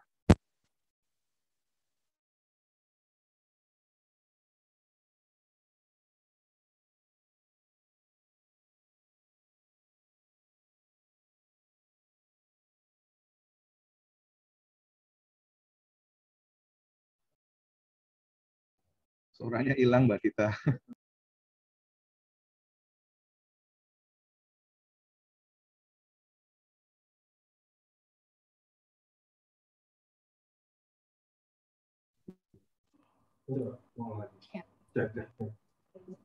Cek. Apakah sudah terdengar jelas suara saya? Sudah, Mbak. Baik, mohon maaf karena kendala teknis. Baik, Bapak Ibu yang kami hormati, rangkaian acara fokus group discussion, pola dan metode analisis dampak treasury terhadap sektor-sektor dalam perekonomian telah paripurna. Kita ikuti bersama. Terima kasih atas waktu terbaik yang Bapak Ibu berikan untuk mengikuti acara ini. Semoga acara ini semakin menjadikan Direktorat Jenderal Perbendaharaan mampu melakukan analisis dan mengukur sejauh mana peran fiskal yang dilakukan Direktorat Jenderal Perbendaharaan, mampu memberikan manfaat dan berkontribusi maksimal pada seluruh sektor perekonomian, dapat memberikan feedback rumusan kebijakan yang tepat dan diandalkan, serta mampu memproyeksikan bagaimana rekomendasi kebijakan treasury dan fiskal yang tepat ke depannya. Sehingga tentunya dapat memberikan manfaat dalam mendukung perekonomian dan juga kesejahteraan masyarakat Indonesia. Akhir kata, saya Andita Vidya Putri undur diri. Terima kasih dan sampai jumpa. Wassalamualaikum warahmatullahi wabarakatuh. Terima kasih Bapak Ibu semua, Mbak Adi, Pak Kandu, Terima kasih, Pak Arno. Mas Seru, Seru. Pak Harno. Mas Iwan, makasih Mas Terima kasih Iwan. Mbak Ade, Terima kasih, Mas makasih. Kalian ya semua. Mas Sadat, Pak Di, Pak Kamil, mari. Sehat ya, Pak? Terima ya, kasih. sama-sama. Ya, terima kasih. Terima kasih Bapak. Izin. Saya live ya, Mas Heru. Ya. Makasih Mas Heru. Pak, makasih. Saya live ya.